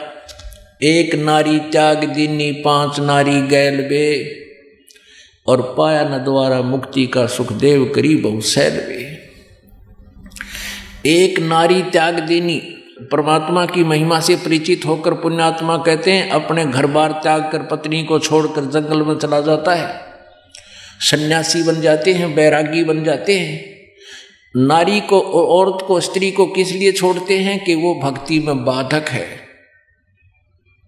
और परमात्मा कहते हैं, एक नारी त्याग दीनी पाँच नारी गैल वे, गैल माने साथ में। और पाया ना द्वारा मुक्ति का सुखदेव करी बहु सैल वे। अब एक नारी, यानी स्त्री तो छोड़ दी तूने, बाधक समझ कर के तेरी भक्ति में बाधा करेगी। और ये पाँच नारी गैल वे, काम, क्रोध बो लोभ, अहंकार, इन त्याग बेटा। जब बनेगा बैरागी, और फिर क्या सांग काट रहे हैं? कंठी माला और मृगछाला सिर पर जटा रखा हुए हैं। कंठी माला। और न कही ये तो ज़रूरी चाहिए कंठी। कंठित मुक्ति होगी क्या नाम से होएगी।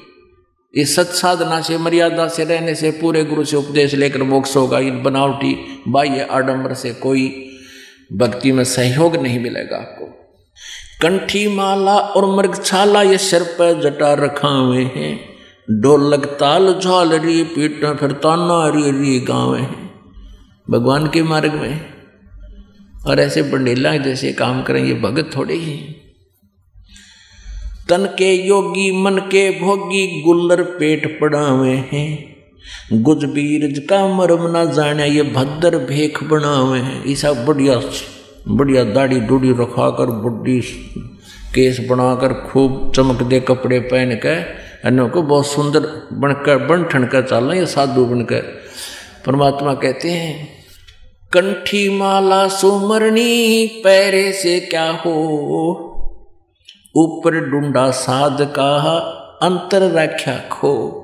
ऊपर तो साधु के में बनावटी डूडा ठा रखा, बड़ा महात्मा जी के अंदर भक्ति एक अंश भी को नहीं, ज्ञान गलत और भक्ति की साधना गलत तुम्हारी सब अंदर रख्या खो, अंदर तो कुछ भी कोई नहीं ऊपर न दिखा बड़ा साधु संत कंठी कुठी माला पैर के। कहते, कंठी माला सुमरनी, पैरे से क्या हो? ऊपर डूडा साधु का तन अंतर रख्या खो। करवा और कोपीन लिए जो बनखंड गुफा बना हुए हैं। खुदा कुत्ती घट में दूती फिर गृह द्वारे आवे हैं। कहते, घर तक छोड़ चला। जंगल में जाकर गुफा बना ली। फिर शाम ने भूख लगी। फिर धक्के खाना गृहस्थी के द्वार, गाँव में दिए माई दिए माई। और माई दो था ना घर में। बनी बनाई रोटी मिल रही थी, भक्ति का पता चला नहीं। बेमतलब होकर भावुक मूर्खा के बह काय से जा बैठा जंगल में। अब खाना लेने के लिए फिर गाँव में धक्के खाना आया। करवा और कॉपी लिए जो बनखंड गुफा बना हुए हैं, खुदा कुत्ती घट में दूती फिर गरही द्वारे आवे हैं। खाकी और निर्वाणी नागा ये सिद्ध जमात चलावे हैं। रण सिंगे तुरही तुतकारा फिर गागड़ भाँग घुटावे हैं। अब ये भाँग क्यों पीवे कि घर तक छोड़ जाए अपनी प्रेरणा से भगवान पाने की। फिर उड़ाव कुणबा याद, फिर ये नशे में गेरे रखे के गुरु।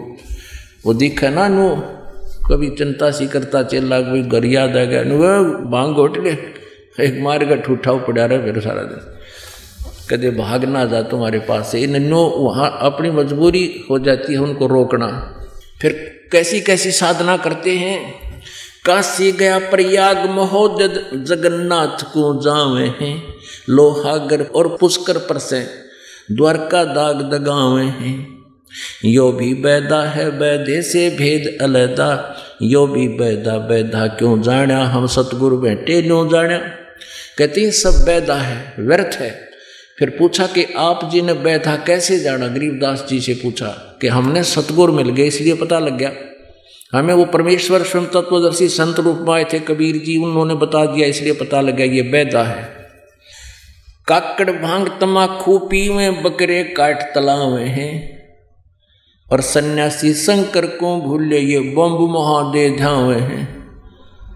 बताओ, ये भगवान नहीं भूल गए? शंकर का भी नाम ना लेते, ये आपने देखे होंगे कावड़ लावणी है। बम बम बम बम। भगवान शंकर का नाम भी ना लेते। बम बम बम भी कोई मंत्र है यो। सारा दिन टाइम वेस्ट करने वाली बात है। ये दस नाम दया नहीं जाने गेरू कपड़ रंगावे हैं। पार ब्रह्म से परिचित को ना ये शिव ने करता ठहरावे हैं। उस पूर्ण परमात्मा का ज्ञान नहीं, और शिव जी ने कहे, मृत्युंजय कालज, सर्वेश्वर महेश्वर अद्रो अमर, इनके कोई माता पिता नहीं। उवा भाई बके। आसन करें कपाड़ी, ताड़ी, ऊपर चरण हलावे हैं।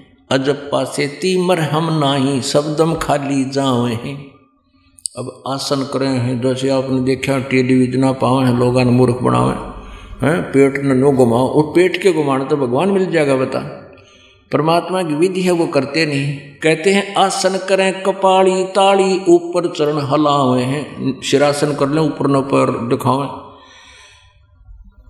और अजप्पा से तीमर हम नहीं सबदम खाली जावे हैं। उस अजप्पा जाप, सतनाम के जाप का पता नहीं, सारे सांस व्यर्थ जा रहे हैं आपके।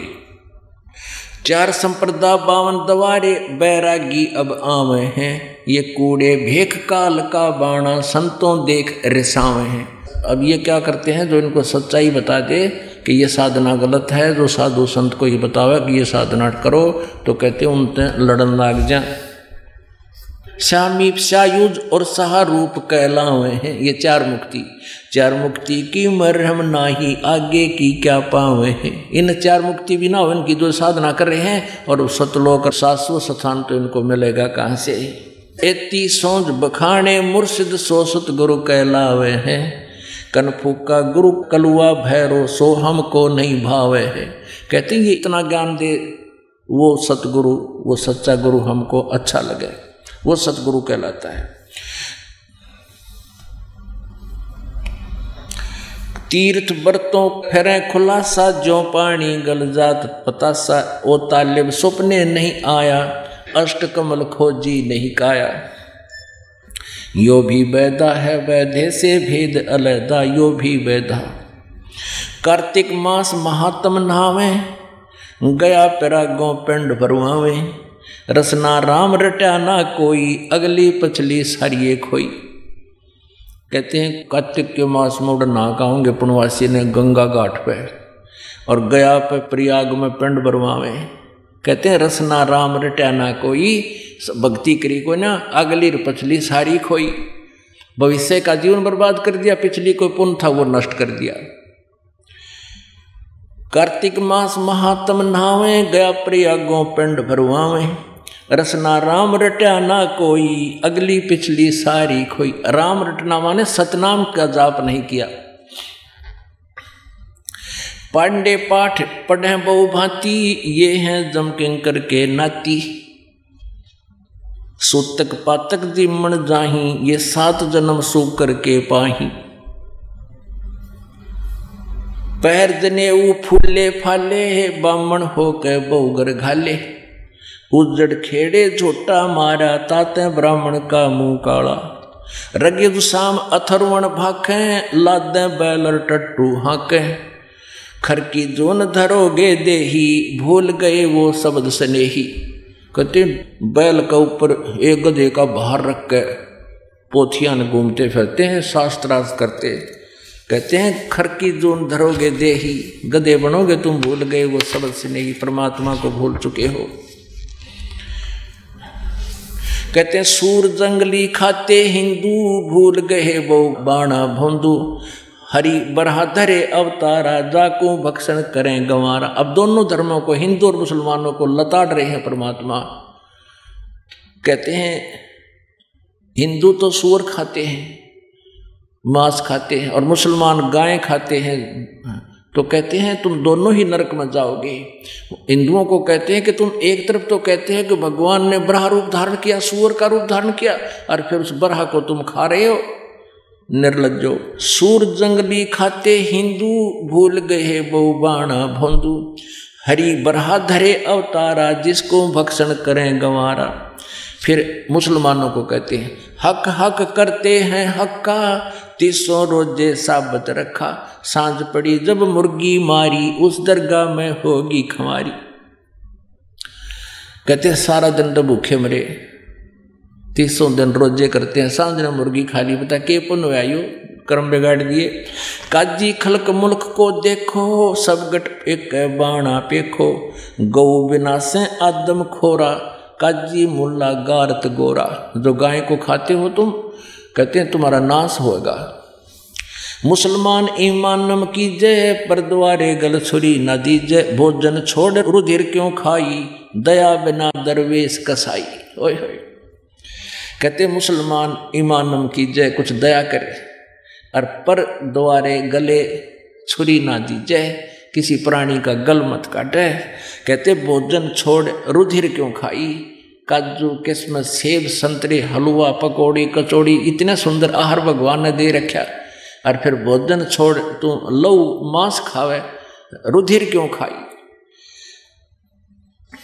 मुसलमान ईमानम की जय पर द्वारे गल छुरी न दी जय भोजन छोड़, रुधिर क्यों खाई? दया बिना दरवेश कसाई। तुम भगत कहाओ, और जिसमें दया नहीं हो तो दुष्ट है, वो तो कसाई है।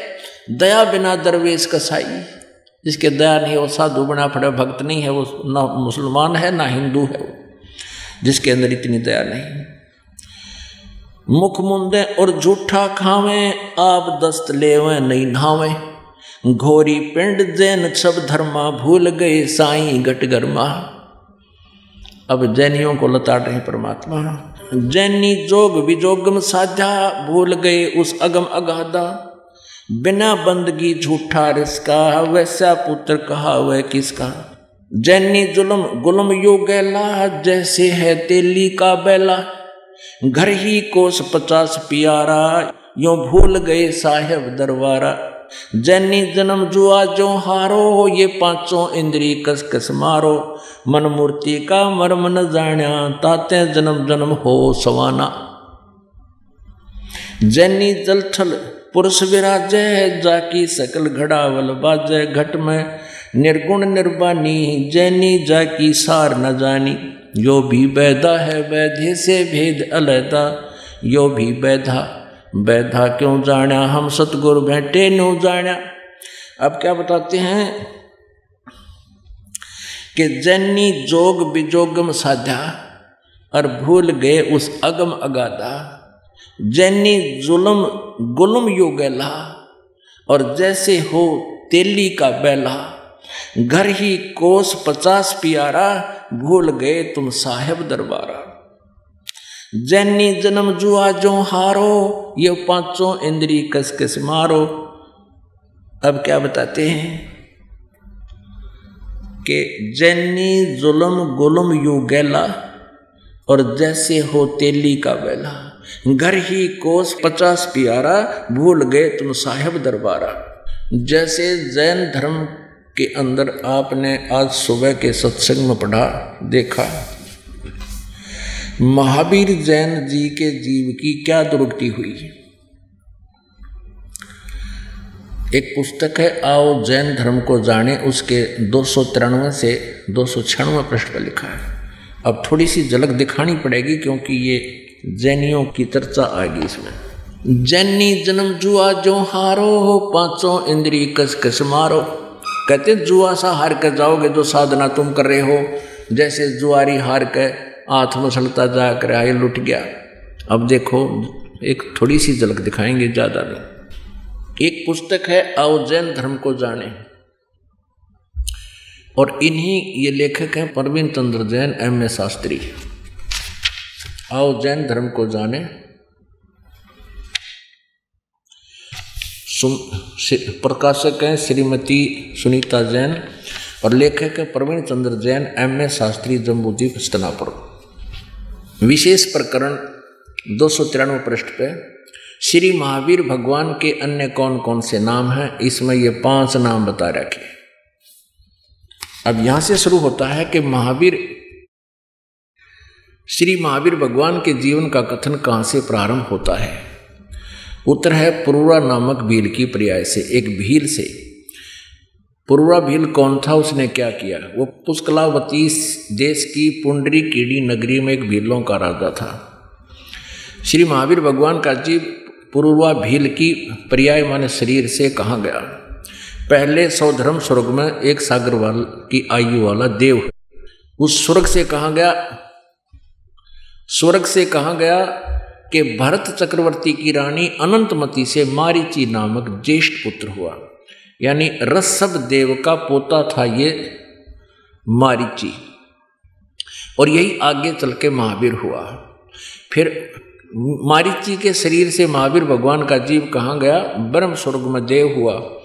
फिर ब्राह्मण हुआ फिर स्वर्ग में गया, फिर ऐसे ऐसे फिर स्वर्ग। अब हम यहाँ आते हैं दो सौ पचानवे पृष्ठ पे। निगोद से निकलकर श्री महावीर भगवान का जीव कहाँ गया? ओहो।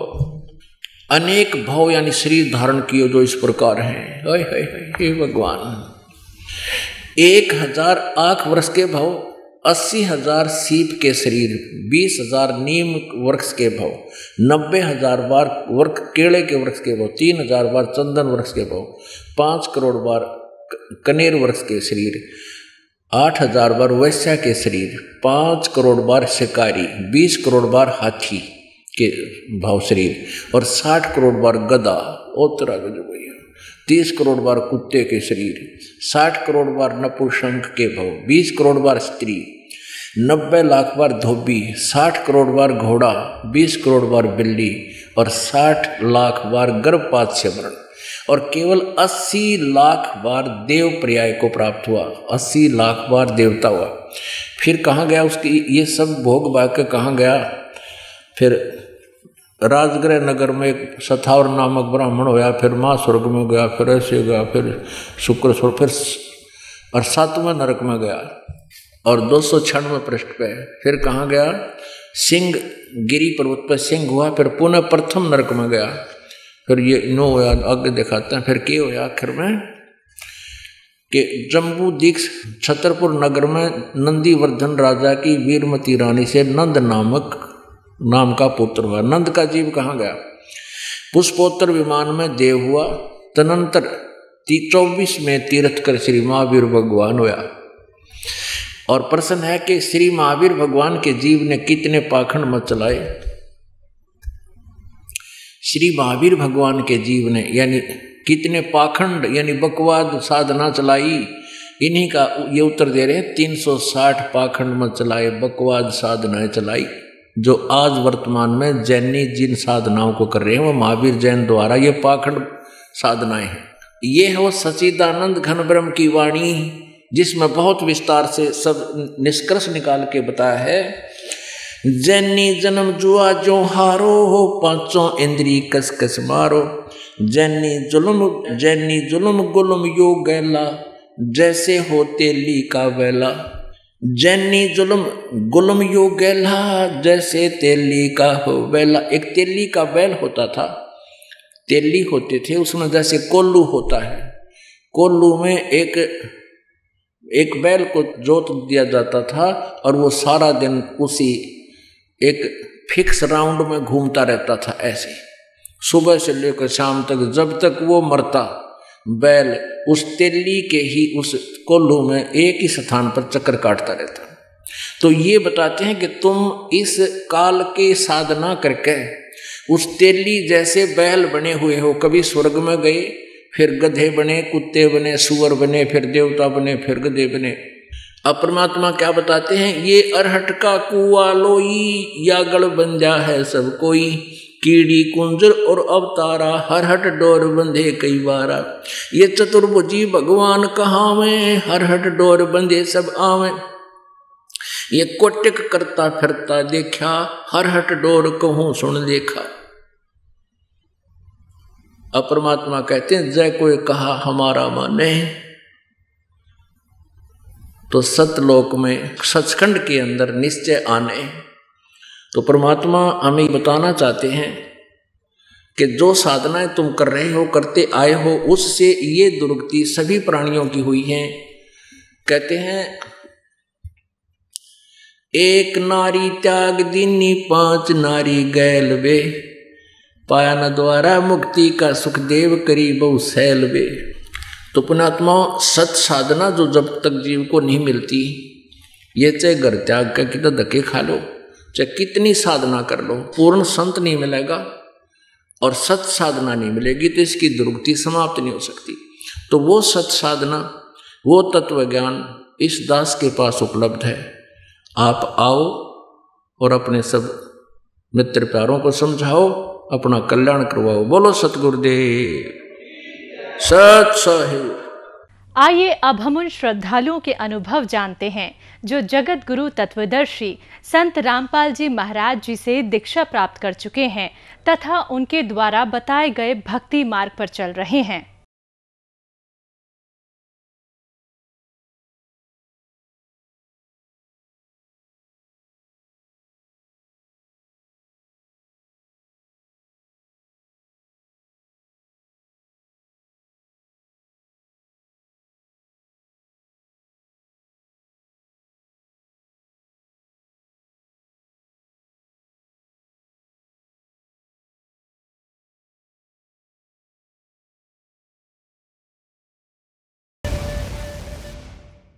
नमस्कार जी।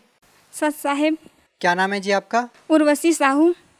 कहाँ से आए जी आप? ग्राम चीचा तहसील पाटन जिला दुर्ग छत्तीसगढ़ से। क्या आप संत रामपाल जी महाराज जी के अनुयायी है? हाँ। सदगुरु रामपाल जी महाराज जी से नाम दीक्षा मैंने 24 अक्टूबर 2016 को लिया। संत रामपाल जी महाराज जी से नाम दीक्षा लेने से पहले आप क्या भक्ति साधना करते थे?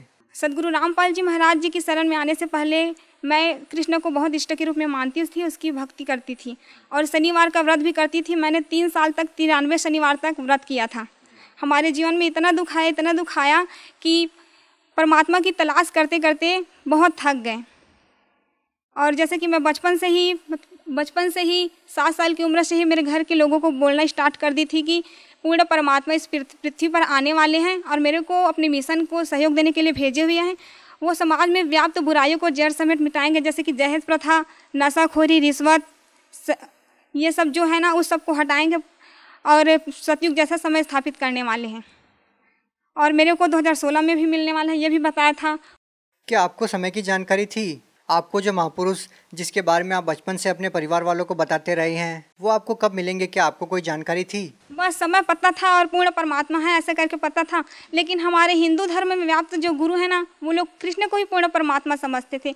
तो मैं कृष्ण को ही पूर्ण परमात्मा समझकर उसकी भक्ति करने लगी। कृष्ण को हमेशा अपने साथ रखती थी स्कूल जाती थी तो उसके अपने बस्ते में छिपा कर ले जाती थी और देखती थी। स्कूल के जो हमारे सर मैडम हैं, उन लोगों से भी ज्ञान चर्चा करती थी कि पूर्ण परमात्मा ऐसा होता है, वो आने वाले हैं, ऐसे करके। तो सभी से करने लगती थी। हमारे स्कूल के जो मेरे सहेली लोग थे, वो लोग बोलते थे कि आप संत के जैसे बोला करते हो, बिल्कुल संत के भाषा में बोलते हो, ऐसा करके मेरे को बोलते थे।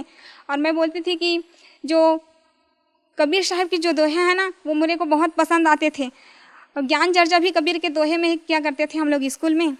गायत्री, जो गायत्री मंत्र है, वो भी जाप करती थी, रामायण का पाठ करती थी, गीता का, बचपन से ही बहुत पूजा पाठ करती थी सभी देव देवताओं की।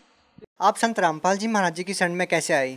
वो क्या है? संत रामपाल जी महाराज जी की शरण में। सबसे पहले जब मेरा कॉलेज में एडमिशन नहीं हो रहा था तो मैंने, मैं बहुत दुखी थी। उसके बाद कॉलेज से आई और वो सर मेरे को, मेरे से कम परसेंट वाले को दिए थे फॉर्म लेकिन मेरे को नहीं दे रहे थे।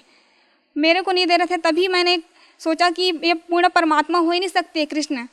अगर पूर्ण परमात्मा होते तो मेरे साथ ये नहीं होता। बहुत हमारे जीवन में बहुत दुख आया, बहुत रोए हम लोग। बहुत, जैसे कि मैं कोई अगर मार्ग में चलती थी तो दूसरे जो चले हैं तो उसी मार्ग में कुछ नहीं रहता था। और अगर मैं चली जाती थी उसी मार्ग में तो बहुत काटा काटा सा जाता था। तो मैं जस्ट आई कॉलेज से, उसके बाद दोपहर को सो गई थोड़ा सा नींद आया, उसके बाद सदगुरु रामपाल जी महाराज जी मेरे सपने में आए। सपने में आए और वो साधारण वेशभूषा में थे, और संत तो वो सब पाखंड के जैसे जैसे कि जटा, नब्बे नाखून नाखून और बाल बढ़ाए, दाढ़ी लंबी, वो सब थे, लेकिन संत रामपाल जी महाराज जी के ऐसे नहीं थे। तो मैं बोली, मम्मी, मेरे मम्मी को बोली कि, मम्मी, एक संत, एक आए थे एक संत, लेकिन वो बोल रहे थे मेरे को कि, आपका एडमिशन हो जाएगा, बेटा, आप चिंता मत करना। लेकिन मैं जानती भी नहीं थी वो संत है, लेकिन आत्मा जो है, परमात्मा को पहचान लेती थी, लेकिन मेरी आत्मा ने पहचान लिया कि वो संत ही हैं। उसके बाद मेरी मौसी थी एक तो वो बोली कि मेरे गुरु जी हैं, संत रामपाल जी महाराज जी, आप भी उससे नाम दीक्षा ले लो। तो मैं बोली कि वो आपके गुरु नहीं है, वो तो मेरे भी गुरु हैं, वो तो मैं जान, वो तो उससे भी मैं भी नाम दीक्षा लूँगी ऐसे करके। और जीवन से बहुत हार चुकी थी तो संत रामपाल तब तक तो आपको नाम पता ही नहीं था, जब आपकी मौसी जी ने आपको बताया कि मेरे गुरु जी संत रामपाल जी महाराज हैं। लेकिन तब तक तो आप जानते ही नहीं थे कि ये संत रामपाल जी महाराज जी हैं। तो आपने अपनी मौसी जी से ये कैसे कहा कि ये मेरे भी गुरु हैं? वो क्या है ना कि आत्मा परमात्मा को पहचान सकते हैं। इसी प्रकार मेरी आत्मा ने भी गवाही दिया। तभी मैंने कहा कि ये भी मेरे गुरुदेव हैं। उसके बाद मैंने संत रामपाल जी महाराज जी से नाम दीक्षा लिया। देखिए जो भी श्रद्धालु संत रामपाल जी महाराज जी से नाम दीक्षा लेता है तो उसको आध्यात्मिक लाभ होते हैं भौतिक लाभ होते हैं शारीरिक लाभ होते हैं। आपसे जानना चाहेंगे कि संत रामपाल जी महाराज जी से नाम दीक्षा लेने के बाद आपके जीवन में क्या बदलाव आया? आपको क्या लाभ हुआ? सबसे पहले मेरे को लाभ तो आध्यात्मिक हुआ। मैंने एक दिन परमात्मा से कहा था कि गुरुजी, मेरे को इस लोक में रहना नहीं है, मेरे को सतलोक जाना है। मुझे नहीं रहना परमात्मा। तो गुरुजी एक दिन आए सदगुरु रामपाल जी महाराज जी और बोले कि, बेटा, आपको मैं आज रात को सतलोक ले जाऊँगा ऐसे करके। उसके बाद संत रामपाल जी महाराज जी आए, मेरे हाथ पकड़ कर बोले कि, चलो जाएँगे सतलोक ऐसे करके। अपनी मम्मी को बता देना, बेटा ऐसे करके बोले। तो मम्मी को जस्ट मैं बताई कि, मम्मी, मैं सतलोक जाने वाली हूँ। आप डरना मत, मैं, मेरे को कुछ नहीं होगा। सदगुरु रामपाल जी महाराज जी मेरे साथ हैं ऐसे करके। क्या उस टाइम पे आपके माता पिता ने या आपके घर वालों ने संत रामपाल जी महाराज जी से नाम दीक्षा ले रखी थी? जी हाँ संत रामपाल जी महाराज जी से मेरे परिवार वालों ने मेरी मम्मी ने भी नाम दान लिया था। उसके बाद क्या होता है? उसके बाद गुरु जी आए और मेरे हाथ पकड़ कर ले गए। उसके बाद जस्ट हम लोग जस्ट पहुँचे काली रंजन के लोग। काली रंजन का लोग। जहाँ पर आए, वहाँ पर मैंने कहा कि, गुरुजी, मेरे को काल से बहुत डर लगता है। मैं मैं नहीं देखूँगी उसको। ऐसे करके आँख बंद कर ली और सदगुरु रामपाल जी महाराज जी ने कहा कि, बेटा, आप चिंता मत करो, मैं आपके साथ हूँ। उसके बाद हम लोग त्रिकुटी पे आए। त्रिकुटी पे परीक्षा हुआ वहाँ पर। तो सदगुरु सदगुरु रामपाल जी महाराज जी वहाँ छुप गए। उसके बाद छुप गए।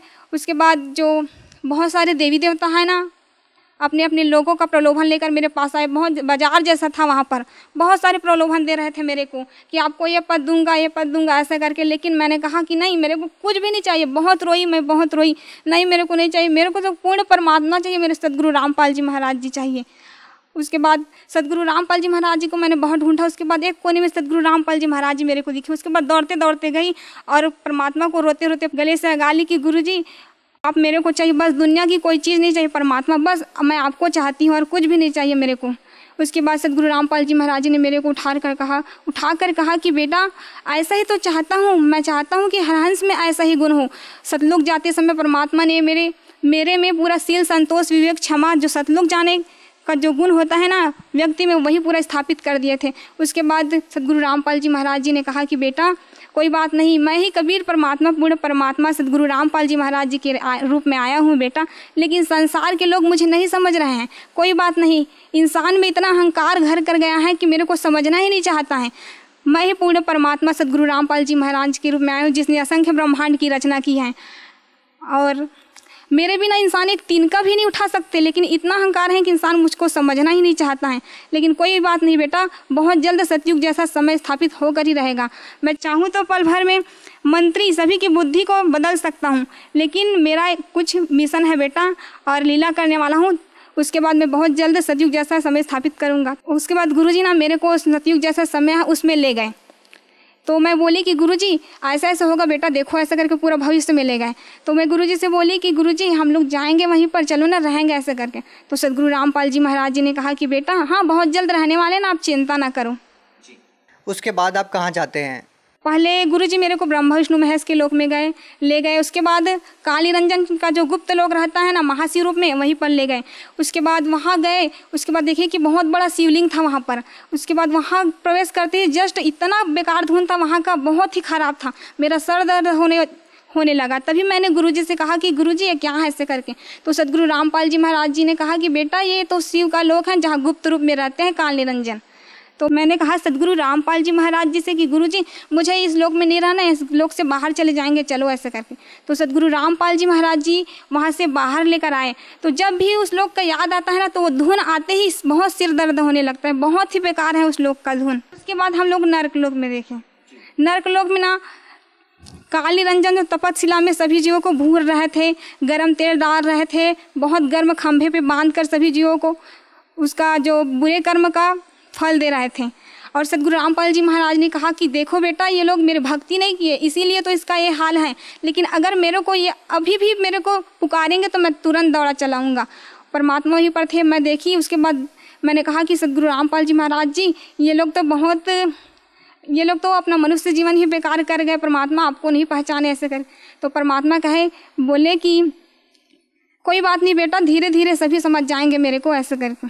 उसके बाद कहाँ जाते हैं आप? उसके बाद हम लोग अंदर प्रवेश किया अंदर प्रवेश किया तो पूर्ण अंदर कहाँ? सतलोक के अंदर प्रवेश किया उसके बाद सदगुरु रामपाल जी महाराज जी ने गरीबदास जी स्वामी राम राम देवानंद जी महाराज और दादू दास जितने भी गए थे सतलोक सभी संतों से मिलाया। वहाँ पर सत्संग के परमात्मा इतना शांति इतना बहुत अच्छा वातावरण था। वहाँ का यहाँ तो बिल्कुल भी नहीं है बिल्कुल भी यहाँ यहाँ कुछ भी नहीं है वैसे। वहाँ बहुत ही अच्छा वातावरण था। और क्या देखते हैं आप सतलोक में? अक्सर संत रामपाल जी महाराज जी के अनुयायी से बात होती है हमारी। जो सतलोक में जाकर के सतलोक का वर्णन करते हैं, आपने सतलोक में क्या क्या देखा? मैंने सत, सतलोक में वहाँ पर बहुत सारे जो है जीव आत्माएँ थी सतलोक में, उन लोगों से मिला। सतगुरु रामपाल जी महाराज जी ने कहा कि, बेटा, आपको कुछ खाना ऐसे करके? तो मैं बोली कि, नहीं गुरु जी मेरे को कुछ भी नहीं चाहिए। बस आप मेरे साथ रहना, हमेशा ऐसे करके बोली। उसके बाद वहाँ जो ना सेब संतरे वहाँ के पेड़ इतने लतफत थे इतने लतफत थे। मैं देख कर बोली कि ज़मीन को टच करने वाले भी थे। तो बोली कि यहाँ का तो फल तो ख़राब होगा होगा ज़मीन से टच हुआ है तो ऐसा करके। तो वहाँ के हंस लोग जो थे वो लोग बोले कि नहीं ऐसा नहीं होता सतलोक तो सतलोक में कोई भी चीज़ खराब नहीं होता ऐसा करके बोले। उसके बाद आप क्या देखते हैं और क्या वर्णन करना चाहेंगे आप? वहाँ पर हमने दूधों की नदियाँ देखी बहुत अच्छे गार्डन थे यहाँ ऐसा है ही नहीं। अच्छा देखिए हम इस संसार में देखते हैं कि बहुत सारे जीव जंतु हैं जो तड़प रहे हैं। बहुत सारी ऐसी चीज़ें देखते हैं आपसी लड़ाई देखते हैं आपसी राग द्वेष देखते हैं किसी की बड़ी बिल्डिंग देखते हैं किसी की छोटी बिल्डिंग देखते हैं। इस प्रकार की बातें भी क्या आपको सतलोक में देखने को मिली? नहीं ऐसा नहीं वहाँ सभी समान दृष्टिकोण से हैं। देखिए आपने अपनी माता जी को बताया कि संत रामपाल जी महाराज मुझे सतलोक लेके जाएँगे। आप चिंता मत करना। कितने दिन तक आप इन लोगों की सैर करते रहते हैं और कब आप अपने शरीर में आते हैं? इसके दौरान भी आपने कुछ देखा हो तो आप हमें बताइए। उसके बाद जब मैं सतलोक चली गई थी तो मेरे घर के लोग बोलते थे मेरे मम्मी को कि ये क्या हो गया ये कुछ भी नहीं कर रही है बोल भी नहीं रही है हम लोगों से बात नहीं कर रही क्या हो गया इसको? इसको भूत प्रत पकड़ लिए हैं क्या ऐसे करके बोलती थी जो जगत थे ना आधे लोग वो लोग बोलते थे। तो मेरी मम्मी बोली कि नहीं सदगुरु रामपाल जी महाराज जी इसको सतलोक लेकर गए हैं आप लोग चिंता मत करना ऐसे करके। कितने दिन तक आपका शरीर पड़ा रहा ऐसे? तीन दिनों के लिए ले गए थे मेरे को सतलोक। क्या तीन दिन तक आपका शरीर अचेत पड़ा रहा आपके घर पे? मेरा शरीर अचेत पड़ा था और सदगुरु रामपाल जी महाराज जी मेरी आत्मा को सतलोक लेकर गए थे।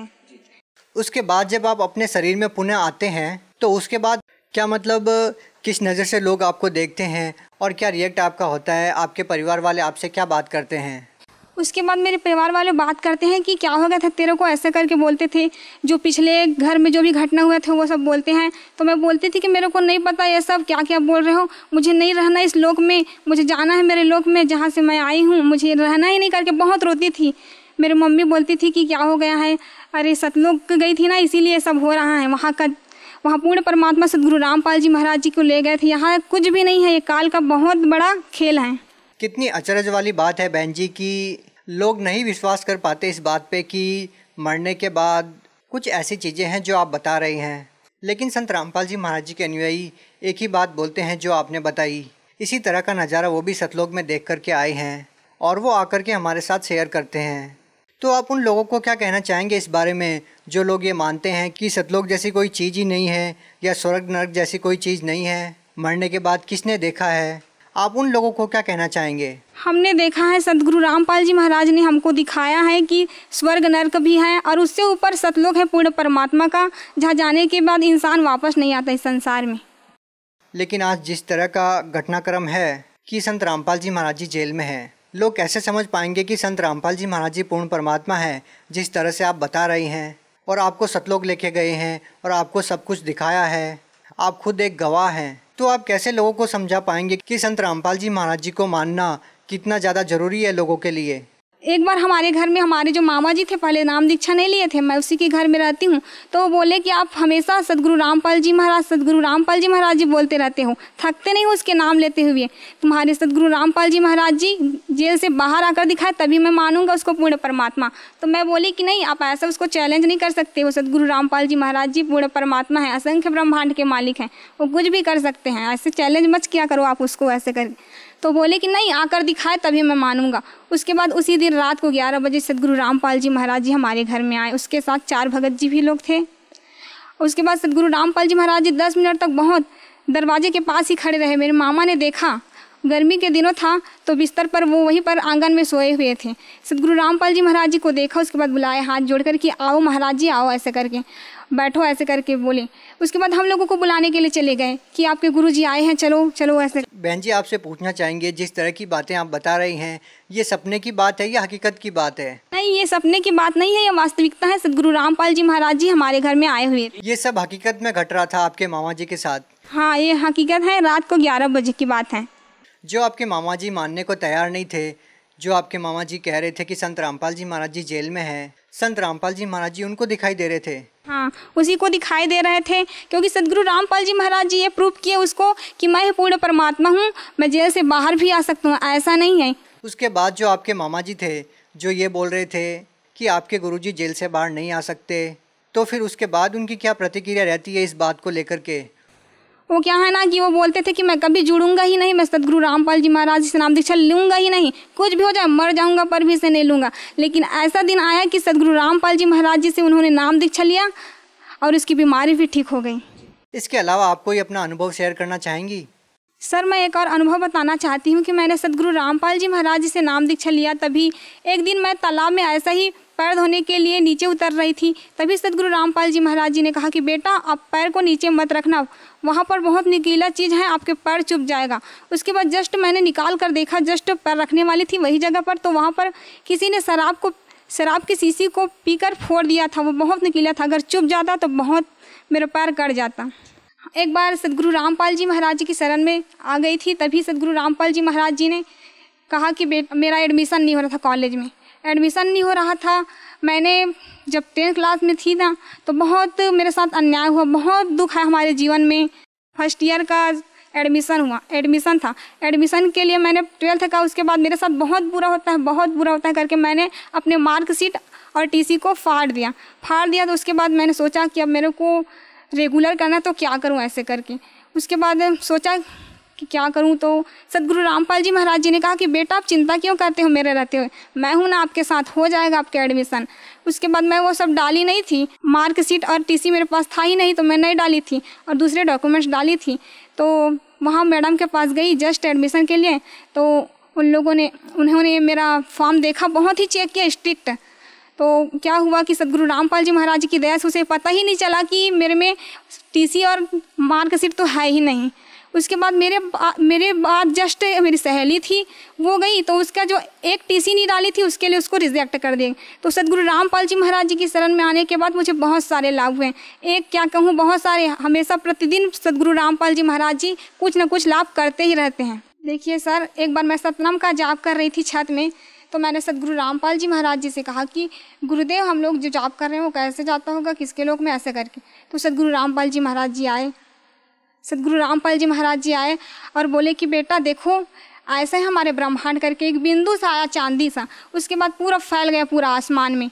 वायु निराकार है, हम देख नहीं सकते, हैं ना? आभास बस कर सकते हैं उसको। लेकिन वायु की पूरा प्रकृति को दिखाया, उसके बाद दिखाया, पूरे ब्रह्मांड को खोल दिया। पूरे ब्रह्मांड को खोला तो दिखाया कि देखो, ये सबका लोग है, ऐसे जाता है जिसका ब्रह्मांड है, उसी के लोग में ऐसे जो जाप करते हैं।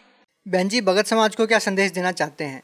संदेश तो मैं कुछ दे नहीं सकती, बस प्रार्थना यही है कि सभी भगत समाज से सदगुरु रामपाल जी महाराज जी के रूप में कभी परमात्मा आए हुए हैं। सदगुरु रामपाल जी महाराज जी ही विश्व में शास्त्र अनुकूल साधना बता रहे हैं, जिससे हमारा कंप्लीट मोक्ष होगा। अतः सदगुरु रामपाल जी महाराज जी से नाम दीक्षा लेकर अपना जन्म मरण का दीर्घ रोग कटवाए।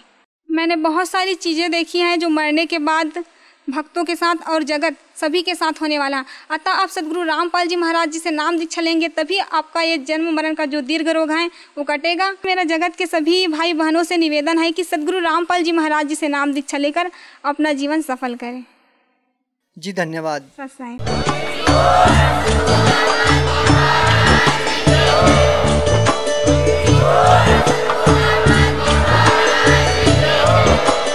आप सुन रहे थे जगत गुरु तत्वदर्शी संत रामपाल जी महाराज जी के मंगल प्रवचन। अधिक जानकारी के लिए विज़िट कीजिए हमारी वेबसाइट www.jagatgururampalji.org संत रामपाल जी महाराज जी के शुभ आशीर्वाद से पूरे विश्व भर में 500 से भी ज़्यादा नाम दीक्षा केंद्र हैं, जिन पर संत रामपाल जी महाराज जी द्वारा ऑनलाइन निशुल्क नाम दीक्षा दी जा रही है। अपने नजदीकी नाम दीक्षा केंद्र का पता करने के लिए संपर्क करें। Eight two two two eight eight zero five four one